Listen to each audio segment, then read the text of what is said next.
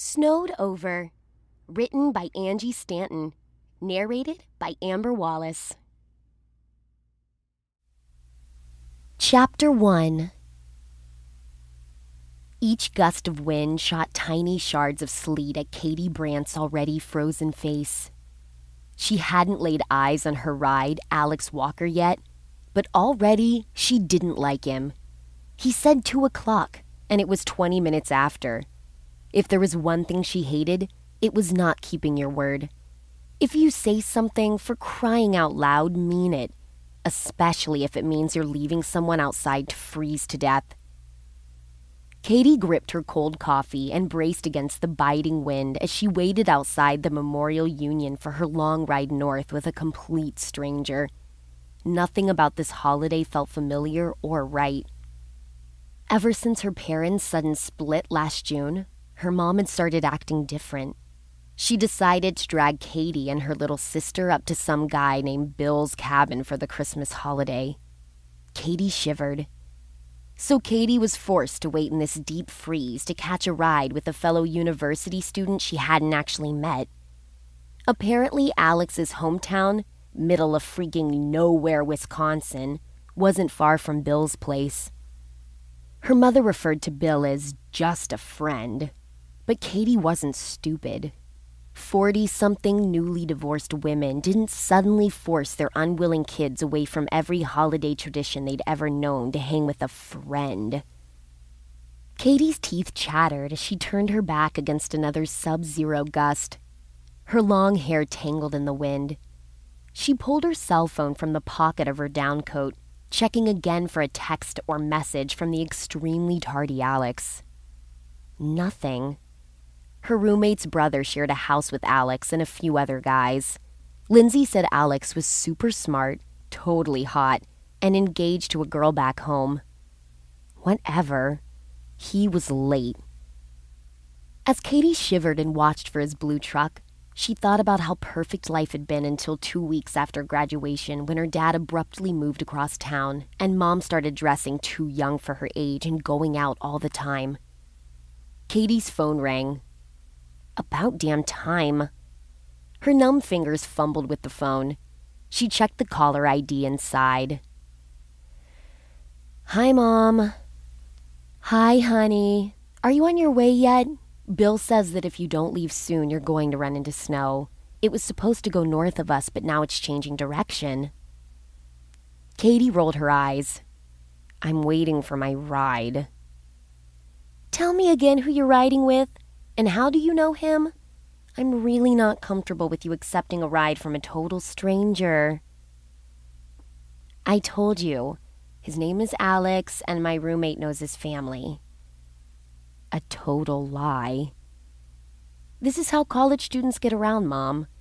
If you weren't forcing me to go to the other side of the state, I wouldn't be riding with a total stranger. Katie felt a little regret for her snarky comments but this was totally her mother's fault. Katie deserved to act like a sullen teenager. Her mom ignored her tone. I wish you could have come up with Bill, your sister, and me on Thursday. The university shouldn't schedule their exams this close to Christmas. Katie would much rather ride with an unknown college student than Bill, who she'd nicknamed Not the Boyfriend. What's his cell phone number? I should at least have that, her mother asked. No, not happening. You'll just call to give him the weather updates every 10 minutes. I'm not that bad, her mother said. Katie didn't respond. Okay, maybe I am, but it's only because I love you and want you safe. Katie huffed if her mom loved her so much, she'd tell her what the heck happened to their family in the last six months. Instead, her mother kept pretending life was normal when it was anything but. Mom, my fingers are freezing off. I'll see you in five or six hours. All right, but make sure he drives careful. If it starts to snow, I want him to pull over. And if there's car trouble, call me and I'll give you my auto club number. Do you have money to stop for something to eat? I've got it under control. I'm hanging up. Goodbye. Katie snapped off the call. How would she endure four days with her mom? They used to get along, but ever since her parents separated, she could barely stand being around her. Being away at college had been her savior. Only a few students were left on campus this close to Christmas, and most of them had the smarts to stay inside. Katie gazed longingly at the doors of the Union and thought about going in to warm up, but she didn't want to miss Alex. With her toes freezing off, she wished she'd worn the boots buried deep in her duffel bag instead of her athletic shoes. She dumped her nearly frozen coffee into the trash bin. The blast of a horn caught her attention. She turned. An old blue pickup truck idled at the curb. The guy inside waved. Finally! She adjusted her overstuffed backpack on her shoulder and hoisted her duffel bag off the frozen sidewalk while trying not to lose her purse and shopping bag full of Christmas gifts. She managed to pull open the passenger door. Hi, you Katie? His tousled brown hair stuck up on top as if he just ran his hands through it. His expressive dark eyes danced upon her. Lindsay had said this guy was a looker, and she hadn't exaggerated. Yep, you Alex? Good looking or not, Katie forced herself not to yell at him for causing her to nearly freeze to death. He nodded with a matter of fact friendliness, but short of an actual smile. He hopped out of the truck wearing only a gray University of Wisconsin hoodie over his broad shoulders. He seemed immune to the elements as he came around and tossed her heavy laundry filled duffel into the back of the truck. She noticed a snow shovel, some large covered buckets, and a huge canvas bag in the truck bed. Alex stood tall and lean, maybe six foot in his boots. He reached for her backpack, but she pulled it away.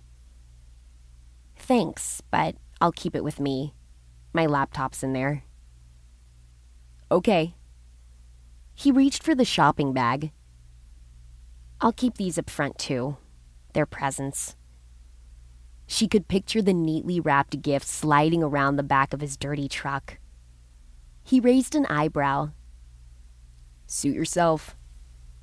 He walked around and hopped back in while Katie maneuvered her remaining bags into the truck cab.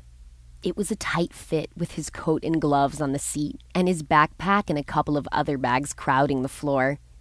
She squeezed her bags to the floor at her feet and eyed his hot coffee. Must be nice. She wiped her icy mitten across her runny nose. Jeez, it's cold out there. Katie buckled up, thankful to finally be in the warm cab and out of the deep freeze. She slipped off her mittens and hat, turned the heat vents toward her, and rubbed her hands in front of the warm air. Wasn't he at least going to apologize for being so late? Here, let me turn it up. Alex adjusted the fan to blow at full speed. The temperature was already on the warmest setting. His eyes met hers, and he offered a friendly smile. Thanks. She sighed as the hot air thawed her fingers. Katie wasn't prepared for his soulful eyes framed by dark eyebrows, and he had the most perfectly shaped mouth. How was she supposed to spend five hours with this guy? Next to him, she looked like a total loser, with her drippy nose and watery eyes. She sat back and focused on the road ahead. He was engaged, off limits, Plus, his late arrival was one big checkmark against him. So, you're a friend of Matt's little sister? He pulled the truck into gear and pulled away from the curb. Yeah, Lindsay. We're roommates. Thanks for giving me a ride. It saved me from two very long bus rides that would have stopped in every rural town and taken all day. No problem. Crystal River is only 12 miles from my parents. She reached in her coat pocket for a tissue and blew her nose. She imagined her nose had turned bright red. It always did when she was cold. She didn't know what to say to this guy, and they'd be spending a lot of hours together. She dabbed at her nose and stuffed the tissues away. So, what's your major? Engineering. You? Finance. Really? Yeah, what's wrong with that? Nothing. He smiled, and it lit up his entire face. His eyes twinkled, and a small dimple appeared on the side of his cheek. She felt like a troll next to him. You just don't seem like a numbers kind of girl. She frowned. Well, I am. What did she look like to him? I didn't mean to insult you. You look like more of a creative type. He gestured toward the brightly wrapped gift sticking out of her bag and the paisley design on her backpack. I'm creative too. I just like when things make sense, when there's a right or wrong. Everything always adds up, and when it doesn't, you fix it. He checked his side mirror and merged onto the highway. Sounds like you're on the right track. Thank you. She sniffed. Mind if I listen to the hockey game? Katie was pretty sure that was code for, I don't want to make small talk with you anymore. No, go ahead. After a few minutes listening to the drone of hockey coverage, she slipped in her earbuds and turned on her music. She'd stayed up half the night studying for her stats exam. She leaned her head back, used her coat for a pillow, and closed her eyes.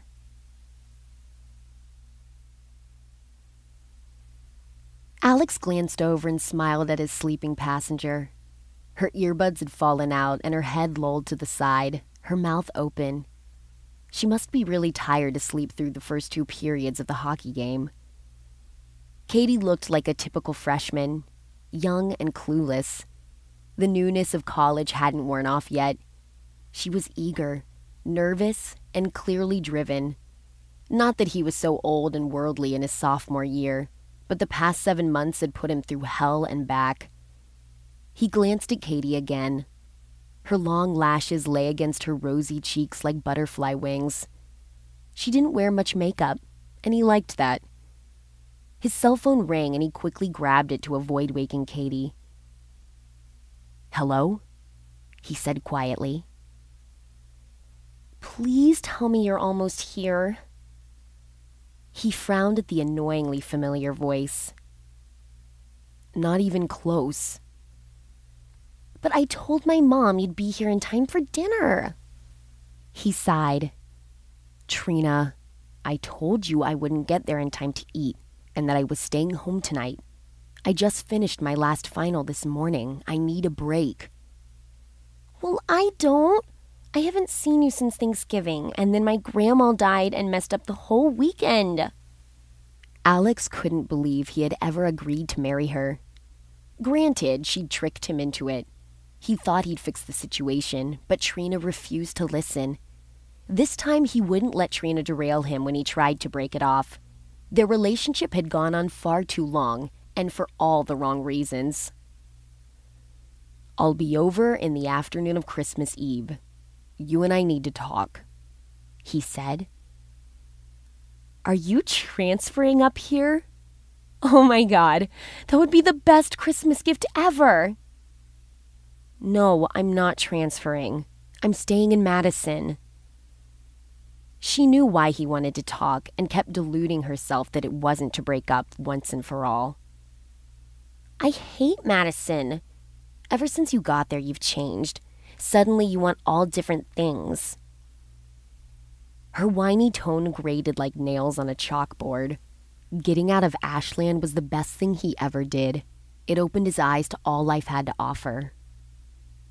Oh, before I forget, Trina changed topics faster than musicians changed keys. I was at the mall today and saw a super cute white coat with a fur lined hood. It was on hold for someone at the checkout counter.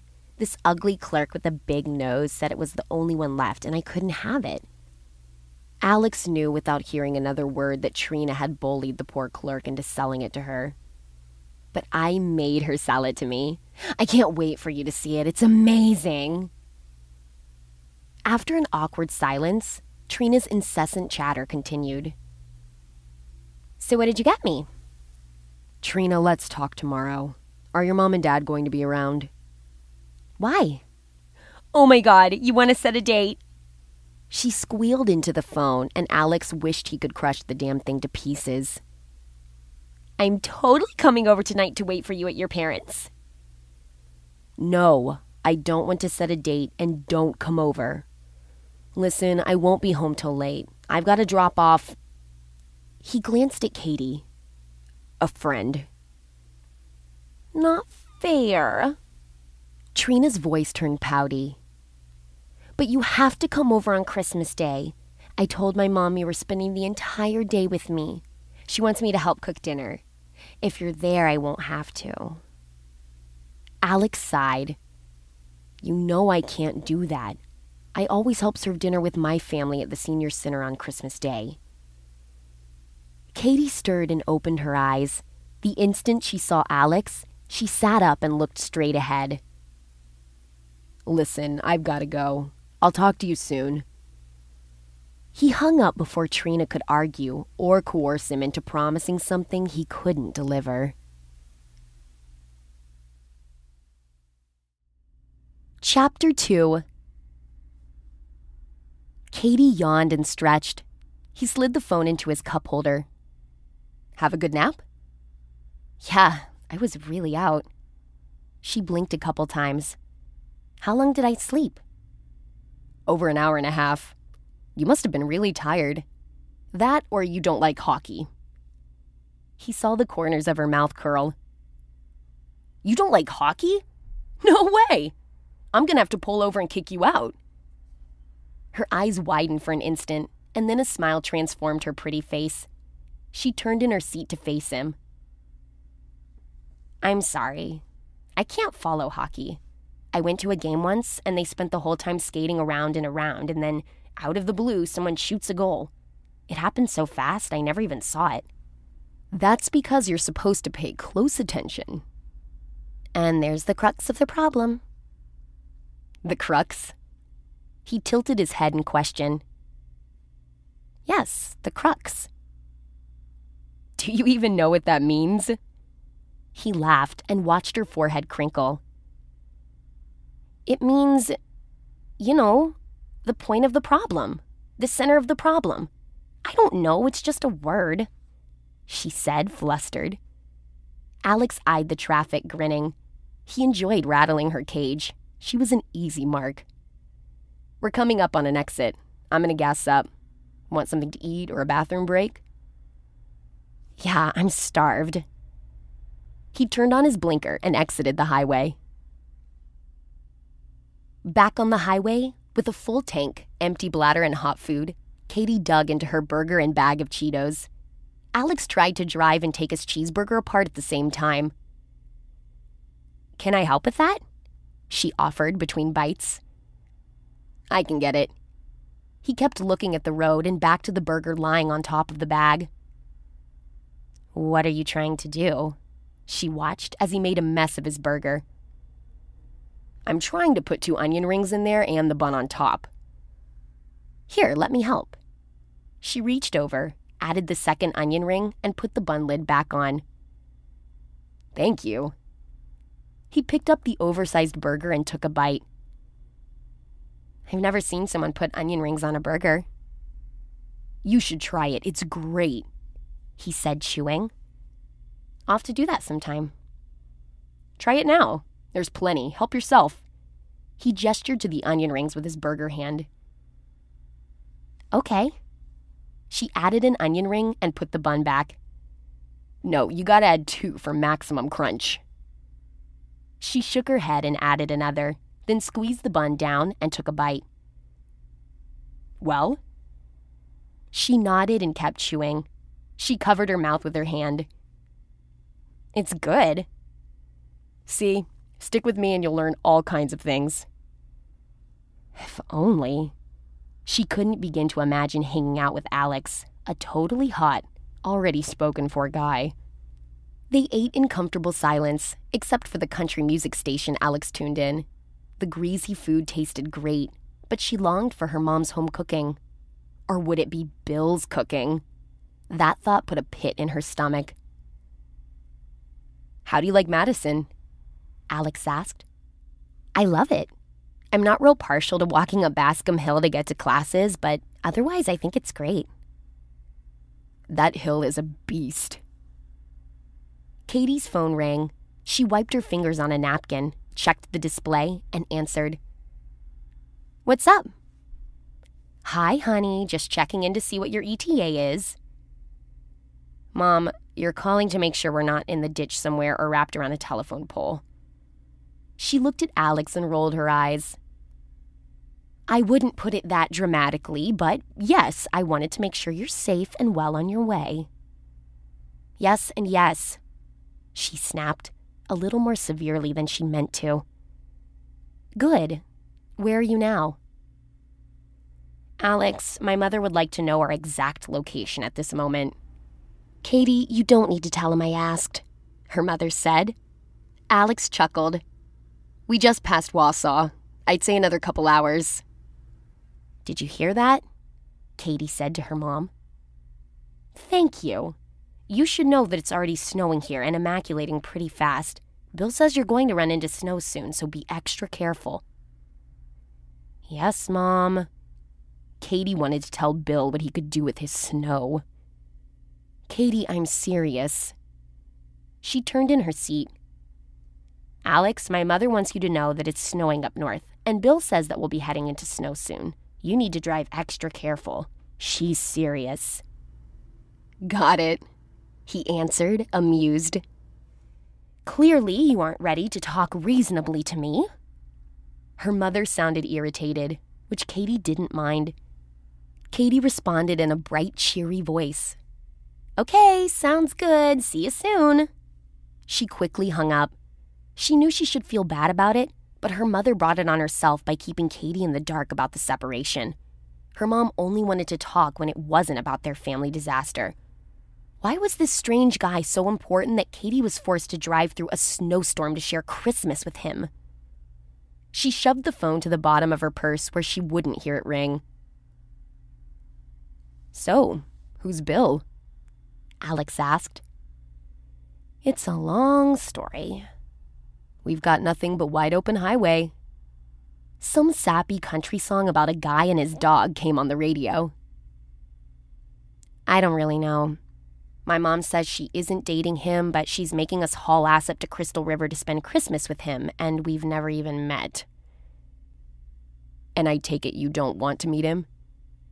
No, I don't. So your parents are divorced? That's an excellent question. I don't think so, but things are moving so fast, who knows? Neither of her parents would talk about it.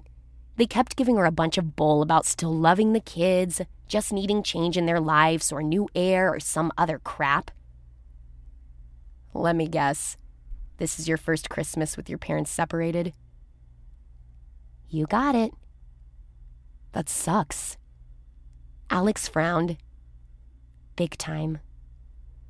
They rode in amiable silence and listened to Alex's country music. A half hour later, flurry started, and within a few minutes, the fine light snow changed into large, heavy flakes that whipped past the windshield. Here it comes. Alex slid his soda back in the cup holder and sat a little straighter as he focused through reduced visibility. Katie pulled her legs under her and watched the snow fly, glad the roads were still clear. It's about time we had a white Christmas. There was something exciting about a big snowfall. The last few years, heavy snows had been few and far between, but now the wind spun and snow wildly in sheets and waves like water in an angry sea. My brother Jason has got to be loving this. He'll have his plow rigged and ready to go. He's like a little kid when it comes to snow. Alex said. He drives a truck too? Alex tilted his head and the corner of his mouth lifted. His eyes sparkled as he grinned in a way she could only describe as sexy. Up north, everybody drives a truck. Katie liked this lighter side of Alex. He'd seemed polite but preoccupied earlier, especially after his phone call. Jason will be chomping at the bit to get out there and plow and pull cars out of the ditch. This is the best Christmas gift he could ask for.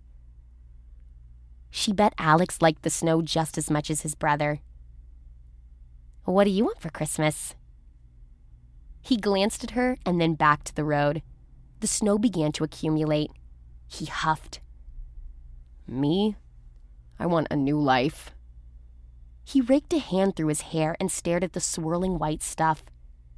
Katie wondered did he mean he couldn't wait to get married? He looked lost in his thoughts as he cruised on. He might want a new life, but more than anything, Katie wanted her old life back. New wasn't all it was cracked up to be. She wanted to spend the holidays and winter break in her old house with both her parents and her little sister Nicole. No new people being forced upon her. The radio station crackled. Alex glanced over. Want to find a new station? Sure. She reached over his coat and backpack to adjust the dials. She noticed how good he smelled, like aftershave or maybe really good deodorant. You're not going to find much this far north. You might get a station out of Minocqua or Park Falls. Katie slowly rolled the knob of the old truck radio, listening for a break in the static. A few inches to her left, Alex's hand casually held the steering wheel. She noticed a few hairs on his long fingers. His nails were trimmed short. The cuff of his hoodie was worn on the edge and a little dirty. Go back. You passed something. Alex pointed with his index finger. She turned back and caught a radio station playing Christmas in Sarajevo by Trans Siberian Orchestra. It was like a Christmas song on steroids. She figured Alex would like it too. Katie settled back in her seat. Alex cranked the volume and tapped his finger against the steering wheel as the music pumped through the speakers.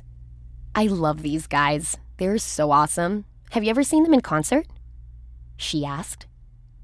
No, I didn't even know they toured. Every year they do a huge Christmas tour from November through early January. This is the first year since I was little that I haven't gone. She ignored the twist in her gut, reminding her that the simple family tradition was over forever. How come you didn't go this year? His head pulsed to the rock beat. She sighed. The breakup. That sucks. Yeah, it really does. Nothing's the same anymore. My mom is dragging me up to the middle of flipping nowhere.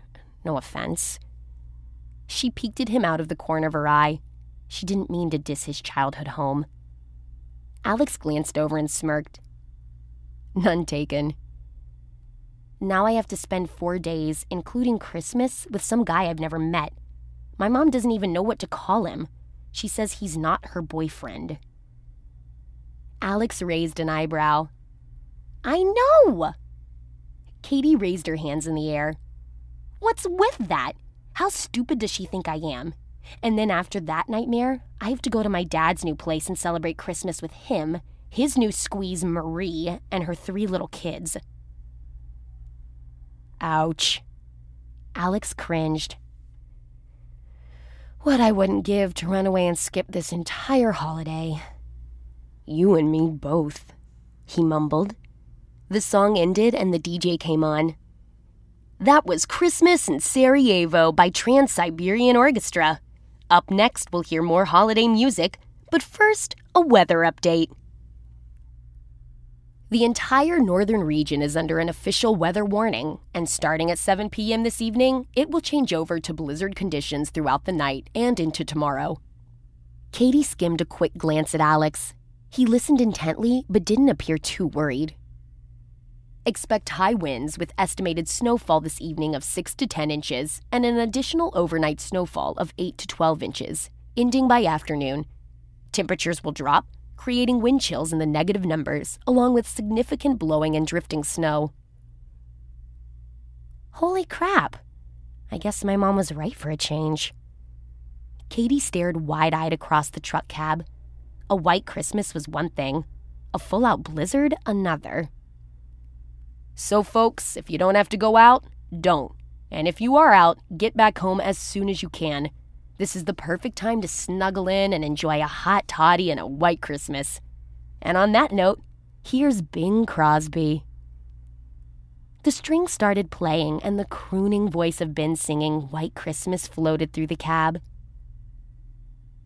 Good thing I put extra weight in the back of the truck last time I was home. It's going to take longer to get there than I thought. Katie twisted in her seat to see the two large utility buckets on each side of the truck bed, snow accumulated around them, and her canvas duffel bag. How much longer do you think? I'd say an hour, maybe an hour and a half. I should probably call my mom and give her an update. She fished the phone out of her purse and turned it on. The light pulsed repeatedly looking for a signal, but there was none. No service? Alex asked. None. I kind of figured that would happen. There's terrible tower service up here, and with the storm, the only thing that's going to work is a landline. Katie dropped the phone back in her bag, not sure if she was disappointed to be cut off from her mother or relieved. Well, that gets me off the hook listening to my mom nag about your driving, the current snow conditions, and if I flossed my teeth today. You can never floss enough. Alex teased. Katie tossed a Cheeto at him. Despite the fact he was driving, Alex caught the Cheeto and popped it in his mouth. He shot her a cocky grin. Katie smiled and shook her head. Chapter 3 Alex hadn't seen a winter storm this bad in years. The road conditions had changed from bad to barely visible, and for the last couple of miles, he only saw a few other cars on the road. The snow fell in a constant, thick blanket. The headlights illuminated the snow, and the flakes raced by at a warp speed like they were in a spaceship in a sci fi movie. Why aren't the plows out? Katie asked from her side of the dark cab. They might be waiting until more snow accumulates, or maybe they haven't gotten to this road yet. Another huge gust hit the truck, causing Alex to grip the steering wheel tighter. The winds howled. Sometimes, when there are high winds, the plows are pulled until conditions ease up. That seems like a bad idea. It does if you're stranded out in it. He focused on the road. Like us, she said. He detected the strain in her voice. Nothing to worry about. I'll get you there in one piece. He wanted to reach over and pat her leg in reassurance, but figured two hands on the wheel would be better. I'm holding you to that, she teased. He chuckled. No problem. In Ashland, we get huge lake effect snows off of Lake Superior. Trust me, I have a PhD in driving snow covered roads. An hour later, they'd only covered 30 miles. Ice had accumulated under the windshield wipers. Even with the defroster on high, the icy buildup made it difficult to see the road. He glanced at Katie and found her gripping the armrest. Do you think we should pull over somewhere? She asked. Alex didn't want to admit defeat when they were so close, but the roads had definitely deteriorated. We've only got another 15 miles, and I think we can get there no problem. But it's to take a while, unless a plow comes through and clears a path. In the distance, he spotted the fuzzy glow of lights at the side of the road. A minute later, they came upon a combination gas station slash convenience store. The station's bright overhead lights illuminated the snow coated building. What do you say we pull over and see if they have a weather update? I'm good with that. Plus, after that jumbo soda, he could use the bathroom. Someone had plowed the station not that long ago, so the lot was much better than the actual highway. Alex turned into a parking spot in front of the store.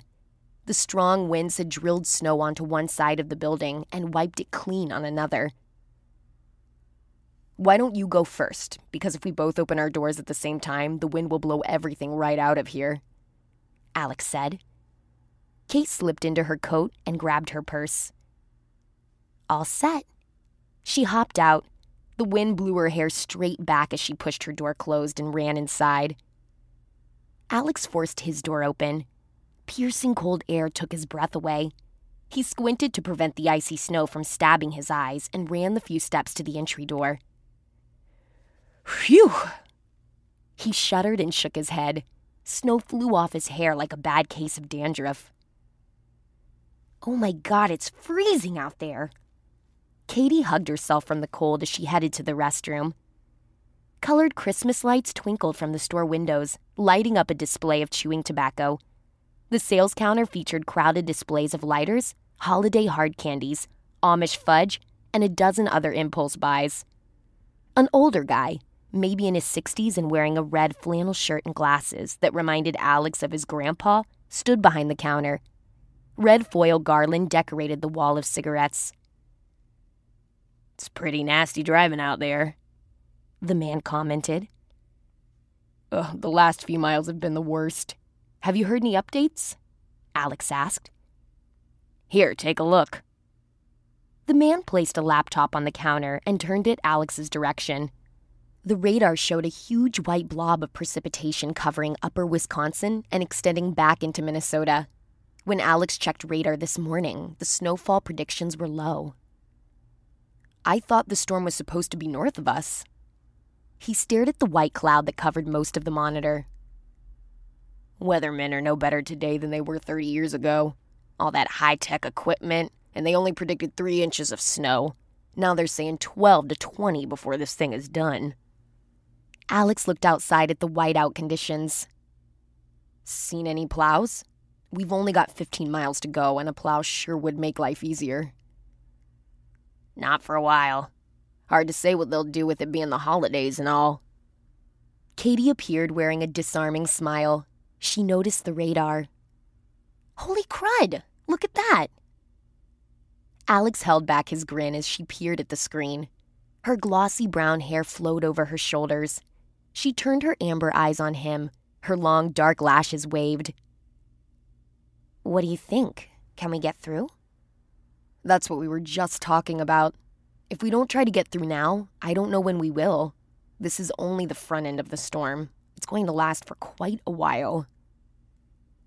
Katie pursed her lips as she concentrated on the radar screen. If you don't want to drive anymore tonight, there's a small motel. The Dewdrop Inn, up the road a mile or so. The clerk gestured to the north. Alex preferred to drive through the snow and arrive tonight versus waiting until the snow stopped, but he felt he should hear Katie's thoughts too. What do you think? Dewdrop Inn or four wheel drive? How far again? she asked, apparently considering the options. He wondered if she worried more about spending the night with him in a hotel room or not getting home to see her mom tonight. If it's really bad, 45 minutes, maybe an hour at the most. You realize you're going to have to stay the night. My mom will never let you keep driving in weather like this. You mean stay with, what did you call him? Not the boyfriend? I don't know. On the other hand, if he got waylaid, he'd be able to postpone his breakup talk with Trina. A night at a cabin with a bunch of strangers wouldn't be all bad. Plus, Katie seemed pretty nice and low drama. Bright flashing lights appeared outside, followed by a huge snowplow. Look, there's a plow. Katie pointed out the window. And it's headed the right direction. What do you say? Want to go for it? Alex asked, anxious to get back on the road. Totally. No guts, no glory. Katie's face lit up. She held up her hand and Alex high fived her. Do you kids have emergency supplies in case you have trouble? The old clerk asked. Yeah, I've got sand in the back and a snow shovel. How about water and blankets? The clerk asked. I have half my wardrobe in my laundry bag, but I'll grab us a couple of waters. Don't worry, we'll be fine. We're not far from our destination. Alex explained. I'm sure you will be, but it never hurts to be prepared. He moved the laptop off the checkout counter. As Katie paid, Alex scanned the store racks for some last minute Christmas gift for his fiance. She'd be pissed if he gave her a light up pin with a Santa dressed in a Packers jersey. Fudge wouldn't be on her diet, or a giant tin of popcorn. Once he broke off their engagement, she'd probably throw any gift he gave her back in his face anyway. He followed Katie out to the truck.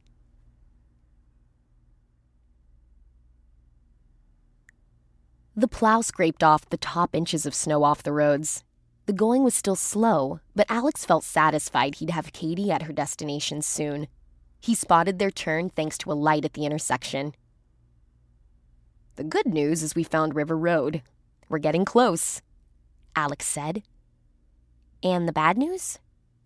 He slowed to take the turn. River Road hasn't been plowed. The truck fishtailed as he took the corner. Whoa, don't do that! Katie gripped the dash. Sorry. Alex peered out at the deep, unmarred snow before them. Someone had driven by from the other direction not too long ago, and he used their tire treads to help guide the way. So, where's the river? Katie peered into the darkness with nothing but snow flying all around. I don't know. I've never been this way before.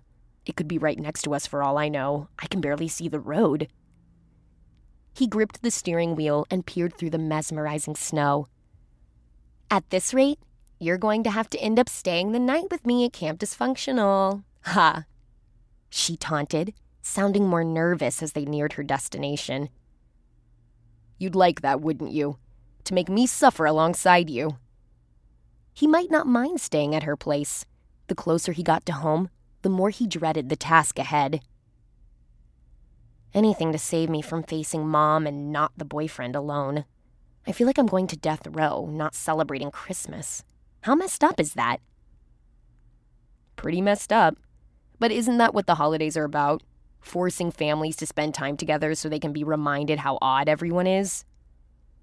That's how he felt about Trina. She used to be pretty and fun, but now she stood out in ways that weren't good. Interesting theory. I always thought my family was pretty normal, but now that you mention it, I have my Aunt Liz. She giggled. What?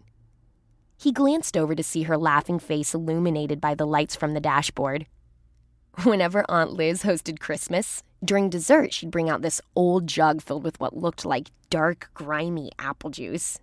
You see, after my great grandpa died, they found three jugs in the cellar from when he made moonshine. Aunt Liz would set up little shot glasses and pour for anyone who wanted a shot. A couple hits of great grandpa's juice, and they were wasted. It's pretty hysterical. Alex had seen his parents tipsy a few times and joined them on a couple of occasions, too. Have you ever tried any of your grandpa's moonshine? Once I took a sip. It tasted like pond scum. I thought for sure it was going to burn through my stomach wall. Not much of a drinker? Not really. I've been to a few parties at school, but everyone gets drunk so fast. It's fun at the time, but the next day is so horrible. I swear I'll never drink again. Until the next party, Alex added. Exactly. Katie reminded him of his freshman year and all the hell raising he did. Oh, Aunt Liz likes to strip. Katie giggled again. Seriously? Alex wished he wasn't stuck driving through a blizzard. He'd rather focus on Katie. Did she know how her face lit up as she recalled old memories? Erase whatever visual you're thinking of, because you're wrong. Aunt Liz is a very large 50 year old woman. She sings loud, crude songs and pretends she's a size 2 Vegas showgirl. Katie said. Alex laughed and smiled at Katie. She grinned and shrugged, then looked forward. Look out! She yelled. He snapped his head forward. A deer stood in the middle of the road, staring transfixed at the headlights. The truck careened forward. Shit! He slammed on the brakes. Unable to get any traction, the truck slid, turning sideways. The four wheel drive was useless in the deep snow. Alex turned the steering wheel to keep the tires pointed forward. He laid on the horn. The deer bolted. He struggled to get the truck under control. A second deer ran across their path. This one wasn't so lucky. Alex had no choice. The truck clipped the deer's hindquarter and sent them spinning. The truck turned like a tilt-a-whirl, and with the heavy snow falling, he had no idea which direction was forward, or if they were about to hit a tree. Hang on! The truck careened off the road, back end first, then turned sideways. He felt sure the truck would flip. He thrust his right arm out to hold Katie in place. Each nanosecond passed in slow motion. The truck bounced down a steep embankment, turning forward and finally sliding to a halt. Then Katie screamed like he'd never heard anyone scream before. The headlights revealed rushing water splashing at the front of the truck. They were in the river. Chapter 4 Oh, crap! Alex tried to scramble backward in his seat to avoid the dark, angry water engulfing his truck, but his seatbelt held him in place. The river is going to pull us in! Katie yelled in panic. Alex looked around frantically. The front end of the truck was clearly in the water. Would the whole truck slide in? Was Katie right that the force of the strong current would pull them in further? We have to get out, Katie nearly cried. Let me try putting it in reverse. Maybe it'll get us out of the water a little. No! Don't touch anything. It'll suck us in. Adrenaline pumped through Alex. He had to move quickly. He gingerly put the truck into reverse and stepped lightly on the gas. The truck lurched backward for a second, but then slid back into place. He glanced at Katie, her face terrified, her hand gripping the truck door, her other planted firmly on the dash. He tried one more time, giving it more gas. The truck rocked back a fraction and then slipped forward again.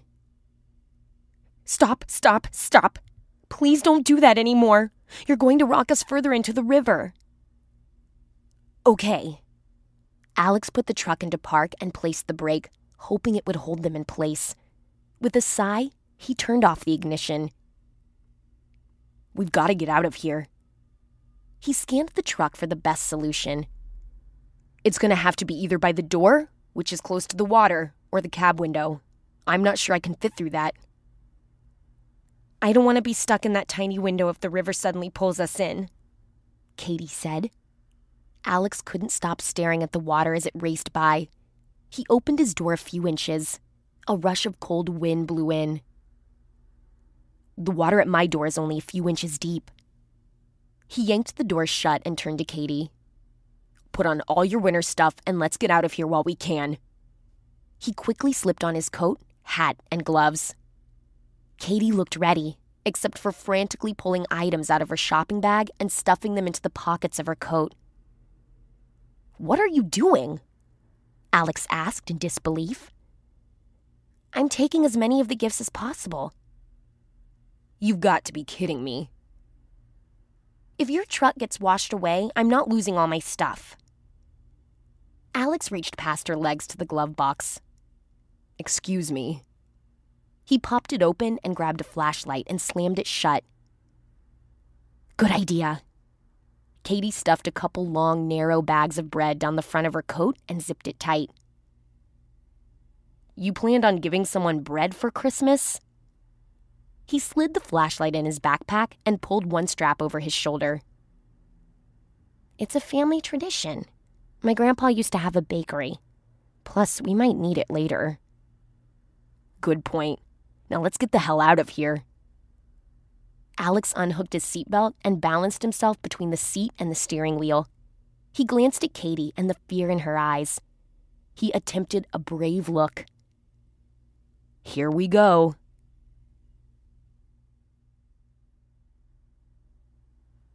Katie unbuckled and stood awkwardly in the tilted truck cab. Her heart nearly pounded out of her body. Alex opened the door. Cold wind blustered in. He held tight to the truck as he stepped down. Katie noticed he wore boots. Smart guy. She instantly regretted her poor choice of shoes. With her backpack containing her laptop strapped in her back, she scooched to the driver's side door. No way was she letting Alex out of her sight. He stepped out and stumbled to his knees. He stood and held onto the truck for support as he managed to move a few feet away from the door. He held out his hand. The rocks are covered in solid ice. Hold on to the truck as you step down and then take my hand. He hollered over the wind. Katie looked out at the dark, churning water. They might have drowned if they slid further in. The cold, biting wind threatened to push her back into the truck. She gripped the truck door with one hand and the hanging seatbelt strap with the other. Katie stepped down and broke through thin ice into glacial water that instantly soaked her shoe. She planted her other foot further away, in several inches of snow. Good job. You've got it. He kept his hand outstretched, his face encouraging. Katie let go of the seatbelt straps and took a large step toward Alex. She almost reached him, then her foot slipped and she fell. Hard. Her leg slid under the truck into the icy water. Katie! Alex yelled, scrambling over the slick rocks. Stunned, it took her a second to realize what just happened. Freezing cold water soaked her legs and seeped up the front of her coat. Her elbow hurt like heck. Katie, are you okay? Alex appeared at her side. Yeah, she said, startled to find herself in the water. Alex's hand slid under her arms and pulled her out. I've gotcha. He lifted her to her feet and leaned her against the truck. The wind and snow whipped around them. He moved close to her face. You're going to be okay. Got it? She nodded, absorbing the affirmation in his eyes. Cold river water dripped down her legs. Good. Stay close to me. We're going to get back up to the road. Katie balanced herself against the side of the truck as they eased their way over the worst of the large rocks. Alex led them up the steep embankment, pausing often to help her. Beneath several inches of accumulated snow, dried weeds helped secure her footing. She still slipped and fell a couple of times, and her wet jeans were quickly coated with snow. At the top of the embankment, they looked down at the truck. Both front tires rested in the river. Thank God they were safely away from the terrifying water, but Katie didn't like the odds of being out in a blizzard either. Shivering, she turned to Alex. We're in big trouble. That's an understatement. He zipped his coat all the way up and tugged it higher to cover his ears. Katie hugged herself in a failed attempt to stay warm. Her legs were numb. She fought to stand straight against the blowing wind, her coat no longer a barrier to the cold. How are you doing? You okay? Alex checked her over, his brows lowered in thought. Other than freezing to death, I'm f- f- fine. Her teeth chattered. Concern clouded his eyes. He reached for her scarf, the red one she got last Christmas. He rewrapped it around her neck, this time covering her mouth and nose. We've got to hope someone comes by really soon or find some shelter, and fast. He tucked the ends of the scarf in snug. Which direction should we go? She wanted out of this cold as fast as possible. We didn't pass anything for a while on this road, so let's keep moving forward. Alex hitched his backpack higher and started off, bracing his body against the strong wind. Katie trudged behind. She appreciated Alex trying to serve as a windbreak, but it didn't seem to make much difference. Within minutes, her jeans were frozen, the icy fabric rubbing against her skin like sandpaper. The biting snow hit her face like tiny needles. She tugged her scarf higher so it all but covered her eyes. She wished she had a hat. Each step became agony as they pushed forward. Katie could no longer feel her toes, and her feet felt like they would break off with her next step. Her fingers turned into frozen sticks.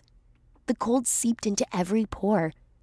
If they didn't find shelter soon, she was in danger of frostbite or hypothermia. After what felt like an hour of walking, but may have only been 10 minutes, Alex stopped. Katie walked right into him. Sorry, she mumbled. Alex turned to her, his face red from the fierce wind. He tucked his hands under his arms and yelled over the howling wind. How are you holding up? Katie wiped frozen snot off her nose. I'm really cold. Do you see anything? Her teeth still chattered. No, only trees on this side. The other side is the river. There's got to be a driveway to a cabin or house eventually. You usually can't go two minutes without running into a fishing cabin or summer cottage in this area. Maybe they should have stayed in the truck. She couldn't believe she was actually entertaining that thought. The truck might be washed into the river by now, but at least in the truck, they could have run the engine to stay warm. Do you know how to build an igloo? She joked, but really meant it. I wish I did. We've got to get you out of the cold, and soon. The wind howled through the trees that lined the left side of the road. Let's go. I'm afraid if I stop for too long, I won't be able to keep going, she said. Alex put his arm around her and pulled her close, practically holding her upright. She tucked her body into his, which helped block some of the wind. They trudged forward like dazed zombies through the deepening snow, praying for a break in the tree line that would indicate a driveway. A few minutes later, when her backpack felt like the weight of the world, Alex pointed. What's that? Katie squinted and spied a shadow of something at the side of the road. A few steps later, her heart leapt. A mailbox! Chapter 5 Sure enough, a thin break in the trees revealed a narrow driveway that wound out of sight. Thoughts of freezing to death disappeared. Instead, Katie pictured a roaring fire, hot chocolate, and a big dinner. They picked up their pace and followed the path that would lead to salvation. She hoped. The snow here piled higher. It appeared that no one had plowed this driveway all season. So instead of dealing only with today's storm, they had all the snowfall to date slowing their progress. Even with Alex forging the way and creating a trail, Katie still had to lift her legs high to get through. Each step became torture as her frozen jeans rubbed her legs raw. She grit her teeth and pushed on. There it is! Alex yelled with renewed energy. Katie paused to catch her breath, spying the distant cabin. Thank God! She didn't know how much longer she could go on. Ahead, in a small clearing, nestled a quaint log cabin coated in snow like a gingerbread house with frosting dripping off the side. The only thing that took away from its storybook quality was the lack of smoke streaming from the chimney and an absence of light glowing warmly from within. Katie noticed a shed with a long row of snow covered firewood lining one side. They dragged themselves through the deep snow to the cabin door. Any chance they left the door unlocked for us? She yelled over the whistling wind. Alex pushed snow out from in front of the screen door with his boot. I doubt we could be so lucky, he pulled on the screen door until he wedged it open far enough to reach the doorknob. Locked. Katie sighed. She wanted out of the elements. Now. I'll have to break a window. Alex left the front door and walked around the cabin. What are you doing? Katie followed him back into the deep snow. I'd rather break a window in a bedroom and not the main part of the cabin. It will be hard to keep the wind and snow out once we break in. Katie nodded, hugging herself, thankful to be with such a smart, resourceful guy. They struggled around the perimeter trying to figure which window might be a bedroom. The first window Alex peered in looked like a kitchen. A couple of large windows indicated a main room that probably looked out over a scenic view. But whatever the view might be on a sunny day, it was obliterated by the darkness and blowing snow. They reached the other side and discovered two smaller windows. I think this is our best shot, Alex said. The bottom edge of the window was about four feet off the ground, and even with the snow, it didn't give them much advantage. Katie noticed a screen covering the window. How are we going to get past the screen? Have you got a jackknife on you? Alex grinned, and despite his chafe red face and their horrible circumstances, she couldn't help but grin back. Even covered in snow and practically freezing to death, Alex looked sexy as hell. Sure, right here with my thermos of hot chocolate and hand warmers. She must be hallucinating from the cold. Why else would she be thinking about his good looks at a time like this? Alex slipped off a glove and fished in his pocket he pulled out his car keys. He handed her his glove to hold and ran the key over the screen, his hand shaking from the cold. The key created a dent in the old metal, but didn't break through. He ran it over the side of the screen where the mesh attached to the frame, but no luck. He glanced at Katie. She saw his determination. He repositioned the keys in his hand, and she knew how frozen his fingers must feel. He jabbed the key straight at the screen instead of at an angle and punctured through. He dragged the key down hard. The metal ripped. He made a four inch tear and shoved the keys back in his pockets. He slipped his fingers through the gap he made and yanked hard on the screen, creating a larger and larger opening. Thank God. Alex brought his bare hand to his mouth and blew warm air on it. Here, you want to put your glove back on? He nodded, his face red, and slipped his hand in. Then he tore away the screen, exposing the window. Stand back. I'm gonna try and break it with my shoulder. That sounds dangerous. You could get cut really bad. Have any better ideas? See any bricks laying around? He scanned the area. No, but I saw a woodpile back by the shed. Maybe a piece of wood will work. Alex nodded. I'll go get a piece. She turned to fetch the wood. Alex grabbed her arm and stopped her. No, you can barely stand. I'll get it. Wait here.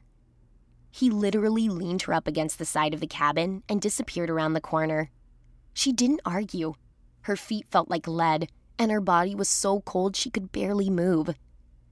A couple minutes later, Alex returned with a piece of wood. You better stand back, just in case glass flies everywhere. He gripped the wood in his gloved hands and tapped it firm against the window. Nothing. He hit it again, harder, creating a crack. Then he swung back hard and nailed it. The glass shattered. He ran the wood over the inside edges of the window frame to knock the jagged glass away. He brushed stray shards off the side and turned to Katie. We're sleeping inside tonight. She sighed in relief, thankful to finally find a safe haven. I'll climb in and come around to the door. That was fine with her. She didn't know if she could navigate her stiff, frozen limbs through the window. Alex brushed the edge of the sill again, put his gloved hands on it, and jumped up. He ducked his head and disappeared inside, his legs scraping the edge as he went. Katie held her breath, praying he was okay. A couple seconds later, he popped up, looking happier than he had the whole trip. Go around to the back door. I'll meet you there. She picked up the piece of firewood and hugged it, hurrying the best she could to the door. For an instant, she panicked, afraid he wouldn't be there to let her in, that she'd be stuck outside. But her fears proved false as the door flew open, and Alex reached forward to help her in. He closed the door after her, blocking out the frigid winds. She sighed, so exhausted and cold from their trek. She looked around the dark room, stunned at the quiet of the cabin compared to outside. They stood in a kitchen with a counter jutting out. The shadows of furniture loomed in the space beyond. Alex removed his gloves and rubbed his hands together. Oh, I'm so cold my fingers could fall off. I don't think I'll ever feel warm again. Oh, here. I figured we'd need this. She set the piece of firewood on the counter. Her backpack and purse followed. Alex fumbled in his coat pockets and pulled out the flashlight. Let's get a look around and see what we've got. There's no electricity, I checked. Either the owner turned it off when he left, or the storm knocked down the power lines. He directed the light slowly around the cabin, revealing a tiny kitchen that opened up into a main living area. A big old brown couch anchored the room with a log coffee table on a large braided rug in front of a fieldstone fireplace. Bingo! Alex turned to her, his voice so bright that she could picture his great smile. Thank goodness. They examined the fireplace closer and found a poker and brush in a stand, a basket of old newspapers, and on the mantel, an old kerosene lamp. She wondered if it was a decorative antique or something they could actually use. She found a couple of framed pictures, most likely the owners whose home they just busted into, and a large box of stick matches. Let's start a fire right away. Katie couldn't keep the urgency out of her voice. She moved to the kitchen to grab the chunk of wood. Her jeans felt like hard cardboard against her frozen skin. Alex kneeled before the hearth with the chain curtain open, crumbling newspaper. Here, take the flashlight and see if there's any wood stacked over there. Katie aimed the beam at the other side of the fireplace and discovered a metal pail with wood. She lugged it over. There's only three pieces. Thanks. That'll be enough to get a fire started. I'll get more wood in a few minutes. I can fetch some now. she offered. No, you need to get warm. You're shivering. Katie resisted the urge to hug him. She really didn't want to go back outside. Thanks. While he organized the newspaper and wood, she pointed the flashlight beam at the fireplace. He struck a match and lit the edges of the paper. There you go. Burn, baby, burn. The tiny flames quickly spread, catching more paper on fire. Katie moved closer, longing for warmth. Within a minute, the paper engulfed into flames. But a few seconds later, smoke poured into the room. Chapter 6 Katie coughed and backed away. Oh shit, I forgot to open the flue. He reached into the fireplace. The what? She waved through the smoke that billowed from the fireplace. The flue. The damper. It's kept closed to keep air out when the fireplace isn't in use. He fiddled underneath and coughed. Eventually, the smoke stopped snaking into the room and trailed up the chimney instead. There, that should do it. Katie knelt next to Alex to watch the small flames as they devoured the newspaper and caught on the corners of the wood. They held their hands close to the growing fire. Katie let a whisper of heat touch her fingers. Now that's what I'm talking about. Alex glanced at her and smiled. What? she asked. Nothing. You make me laugh. It doesn't take much to make you happy, does it? She wrinkled her forehead. Like surviving a near death experience? I wasn't going to let you die. You were always safe with me. He nudged her with his shoulder. Yeah, until you drove your truck into a river and made me walk 10 miles through a blizzard in wet clothes, which, by the way, are now frozen solid. She arched an eyebrow.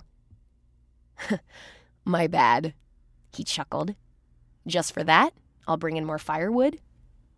Don't you want to wait and warm up a little first? No, I'd rather stock up now and not have to go back out for a while. He grabbed his gloves and disappeared back outside into the cold abyss. Katie wiped her nose on her sleeve as she was out of tissues. She cleared the area next to the fireplace to make space for the wood.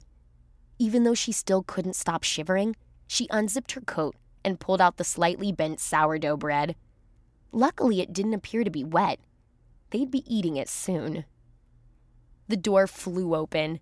Along with a frigid gust of wind and snow, Alex brought in an enormous pile of wood. He wasn't kidding when he said he was stocking up.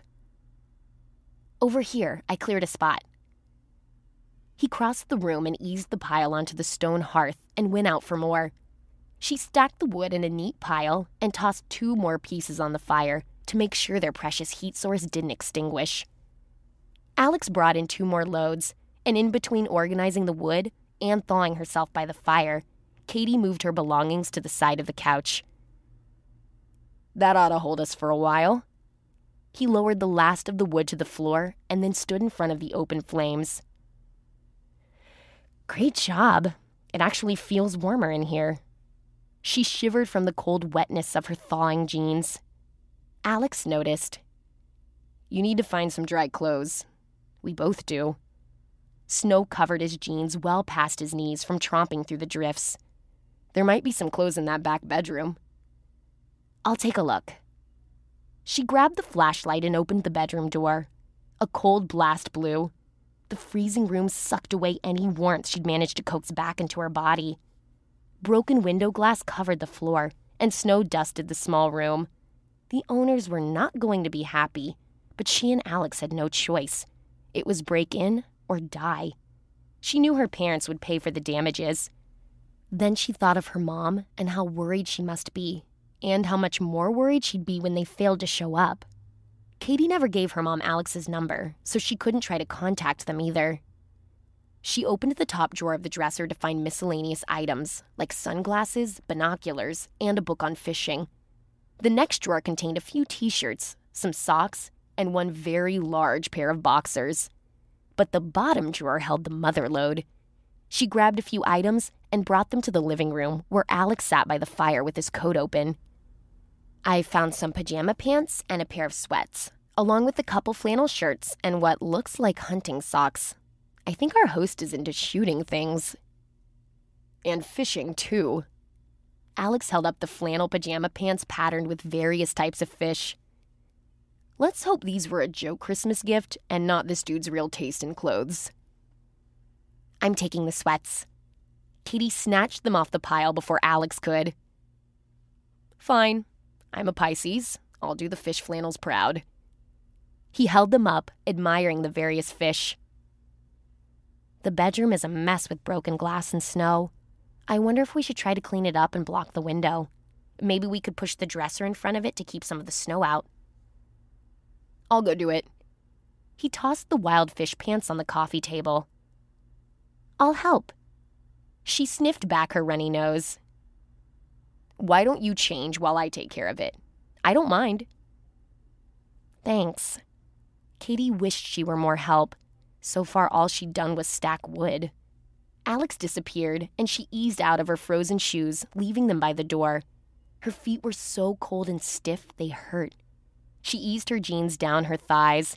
Her skin felt frozen deep into her bones.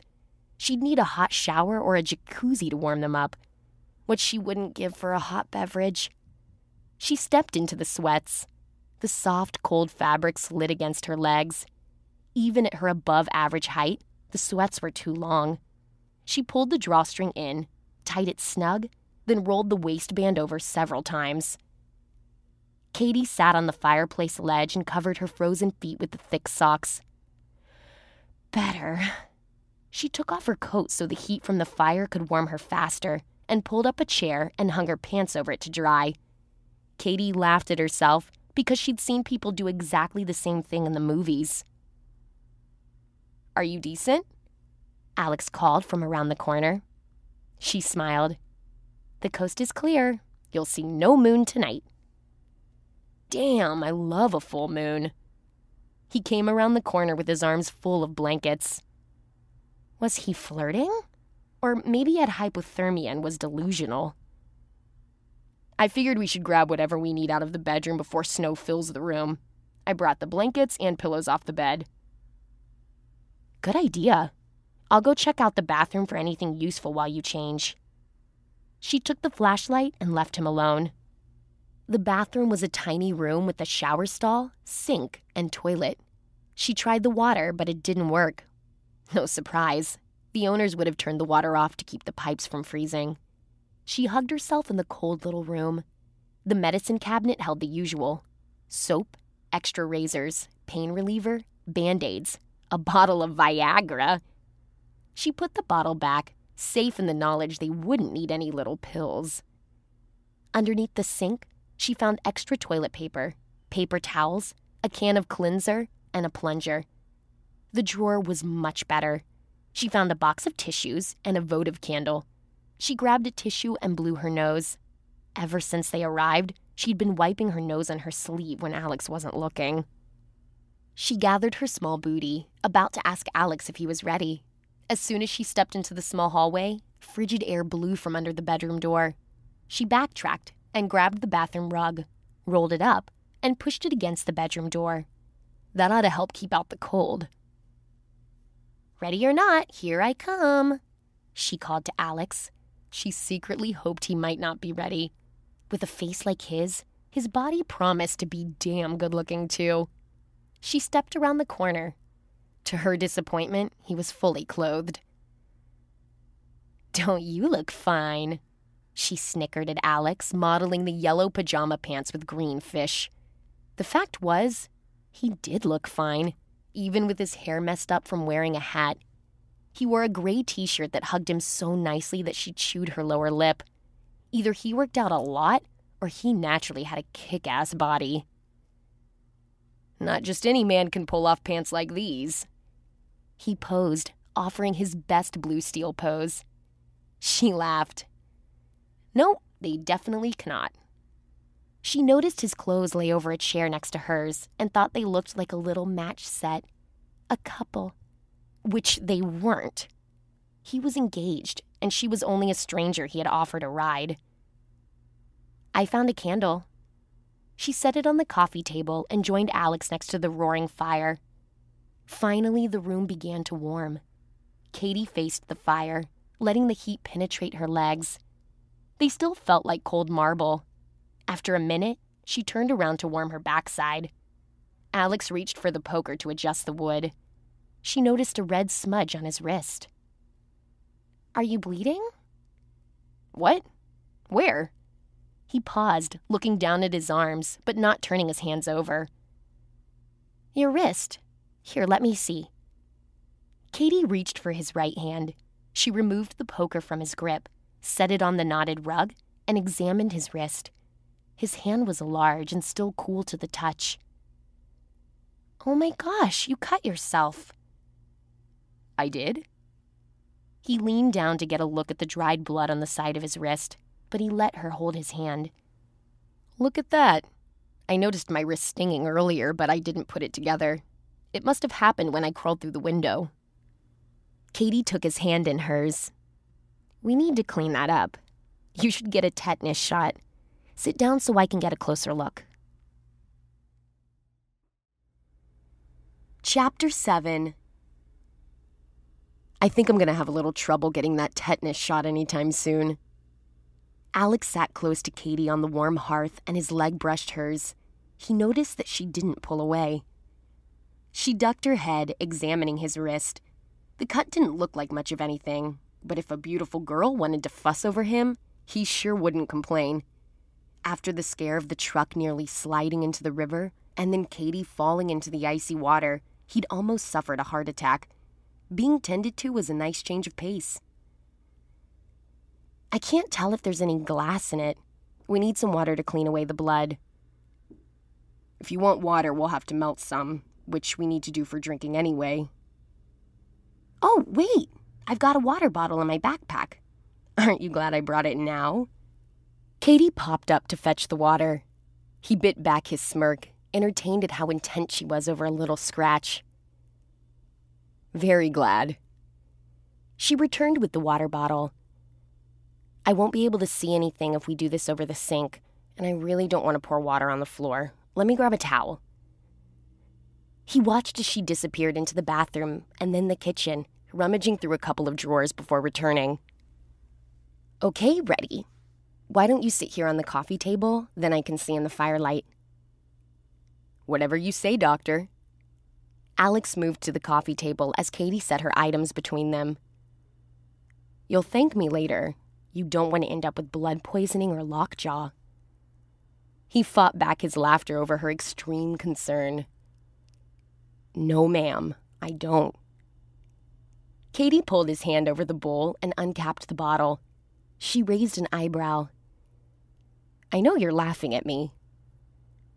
I'm sorry, he apologized, trying to be serious. No, you're not. She bit back a smile, and he saw laughter in her eyes. Alex felt a kick in the heart that he hadn't felt with Trina in forever. Katie poured water over his wrist and dabbed the cut with a damp tissue. Then she put a little soap in her hand and gently massaged his wrist area, carefully rubbing the lather over his cut. The sting almost made him flinch, but he refused to let Katie think he was less than invincible. As she concentrated, her dark hair draped forward like a silky curtain he wanted to touch. She held his hand captive with her soft, delicate fingers, and he found himself breathing heavier than normal. She poured more cool water to wash away the soap, then dried it with a white kitchen towel and placed a band aid over the cut. There, that should do the trick. Any more cuts you want to tell me about? She glanced up, still in doctor mode. The light from the fire danced in her eyes. None that I know of. Let's see your other hand. He offered it freely. She turned it over and then looked closer at his fingernails. What's this? Blood on your fingernails? There is? He pulled back his hand. Sure enough, he discovered dried blood under his nails. I wonder how that got there. Katie examined him with renewed interest checking each of his arms, then studying his neck and face. Turn your head the other direction, she instructed. He obeyed. You have a cut on your cheekbone close to your hairline. You've been scratching it. Her voice sounded close to his ear, giving him an unexpected tingle up his spine. She picked up the dish towel and a water bottle. Scoot closer so I can see it better. I kind of landed face first when I fell through the window. He inched forward and leaned his face closer to Katie. This gives whole new meaning to turn the other cheek. Katie chuckled and leaned in to examine the cut. She swept her hair over her shoulder and dabbed at his wound with the moist cloth. Her breath warmed his cheek. With her finger, she brushed his hair away from the injury. Her touch tickled. It doesn't look that bad. She gave the cut a final dab, and he accidentally flinched. Come on, that couldn't have hurt, she said. What can I say? I'm a sensitive guy. With their heads close, he held her gaze and noticed bright flecks in her eyes. A few seconds later, she glanced away. A rosy blush colored her face. Just try not to touch it anymore. She hesitated before gathering up her things and retreating to the kitchen. Whatever you say, boss, he called after her. If he had to be stranded, this wasn't a half bad way to do it.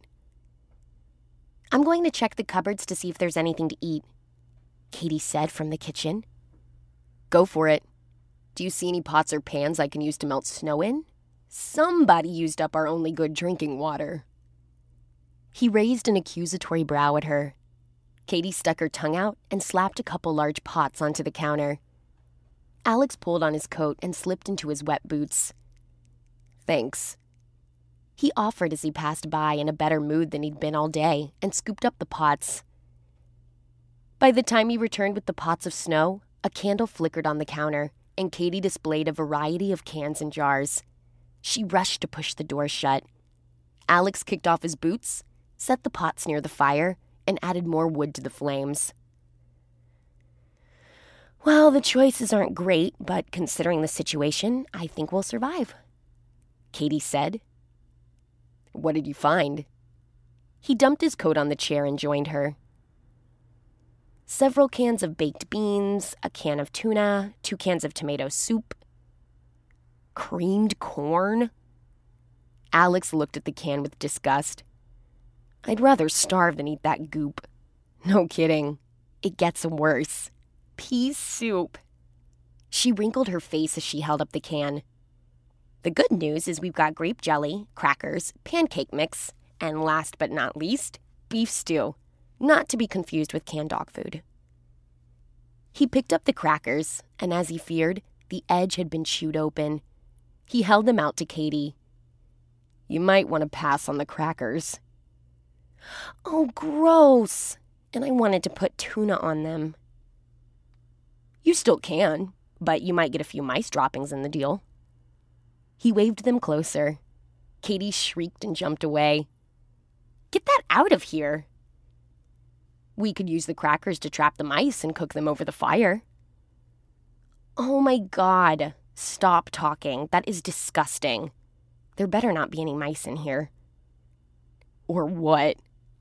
He laughed. Or I'll be out that door and on my way back to your truck. You wouldn't get 10 feet and you'd be back here.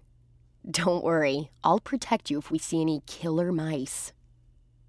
You'd better. Katie spied around the cabin in search of mice. So, what's for dinner? I'm getting really hungry. I thought I'd be home by now enjoying a big plate of spaghetti and garlic bread. Alex's mom always cooked spaghetti his first night home from school. He hated to miss it. That sounds delicious. I don't know what I was supposed to be having tonight, but I'm sure it would have been a better spread than this. Do you think our parents are really worried about us? She picked up the tuna. He frowned. Yeah, I'm sure that by now your mother called the authorities to report us missing. He wondered how long until his parents started to worry. My mom must be freaking out. I feel kind of bad for snapping at her earlier. I didn't want to spend Christmas with her and not the boyfriend. She rolled the thin can on the counter. Looks like your wish might come true. And his, too. He'd been dreading seeing Trina and having to break her heart. She wasn't a horrible girl, but she was the wrong girl. You don't think we'll get out of here before Christmas? Katie asked. He wasn't sure if she was relieved or not. Hard to say. The guy at the gas station said the storm is supposed to rage all night, and when the snow ends, the winds pick up. I think we're going to be here for a day at least, maybe two. We might as well set up camp and hunker down. Katie smirked. Did you just say hunker? Yeah. You have a problem with that? He placed both hands on the counter and leaned toward her. I've never heard a guy, let alone a tall, you know, a guy like you. She waved her hands in the air around him. Say hunker. She giggled. He laughed. And now you have. So, in the process of hunkering down, I'm thinking beef stew would taste great right now. He grabbed the beef stew can, tossed it in the air, and caught it. Katie grinned. Okay, and we can slice up some of the sourdough bread I brought. She pulled one of the loaves out of the paper sleeve and checked it over. It's kind of squished, but at least it's dry. Squished bread is better than no bread, he said. They worked side by side preparing their dinner. Before long, a covered saucepan rested on the edge of the fire. The aroma of beef stew soon filled the air. Alex's stomach growled. Katie brought over some sliced sourdough wrapped in foil and placed it on the edge of the flames where it would be warm but not burn. A few minutes later, they nestled before the fire, each with a steaming bowl of stew and warm bread. It's not half bad. Katie dipped her bread in the stew and took a bite without missing a drop. Outside, the wind howled, reminding Alex how lucky they were to find the cabin. Being hungry definitely helps the taste, Another gust pushed against the windows. Cool air drafted in, preventing the cabin from holding much warmth except the area near the fireplace. Listen to that wind. I'm so glad we aren't out there anymore. Katie stared out the window, mesmerized by the snow swirling past. By the way, thank you for getting us safely inside here. I can't imagine being stuck out in the storm. She rested her caramel colored eyes on him you don't have to thank me. I almost gave you hypothermia. If I had slowed down or stopped when we had the chance, this never would have happened. Alex shoveled another spoonful of stew in his mouth to keep from admitting he'd scared the heck out of himself. There were moments he wasn't sure if he'd get her inside and warm up quickly enough. He knew how dangerous it was to be out in the elements. He had no right to feel protective of Katie, but he couldn't help but feel drawn to her. It's actually pretty fun. I mean, now that I know we're both okay, Katie said. Plus, if I can't have my traditional family Christmas at home in Madison, this is a much better alternative than what I was headed to. I just feel bad about you not getting home to see your family and your fiance. That's gotta suck. It must be really hard to be away from her. Not as hard as you think. Nah, it's fine. You want some more water? he said to change the subject. Sure. She passed her glass and he filled it. They'd transferred the melted water from the pot into a pitcher and then added more snow to the pot so that they would always have more water. Katie set her bowl aside and fetched her purse. The one thing I feel bad about is my mom. She must be going insane. She checked her cell phone. No signal. She dropped it back into her bag. I know. It's a crummy time to go missing, right before Christmas. Anyone else you need to reach? No, not really. My dad's busy with his new squeeze. There's no boyfriend you need to get a hold of? He tried to say it like it was an afterthought and not a direct question he'd been itching to ask. She picked up her bowl. Not even close. Alex brightened. Really? I'd think a girl like you would have all kinds of guys hanging around. Katie's forehead wrinkled. What do you mean, a girl like me?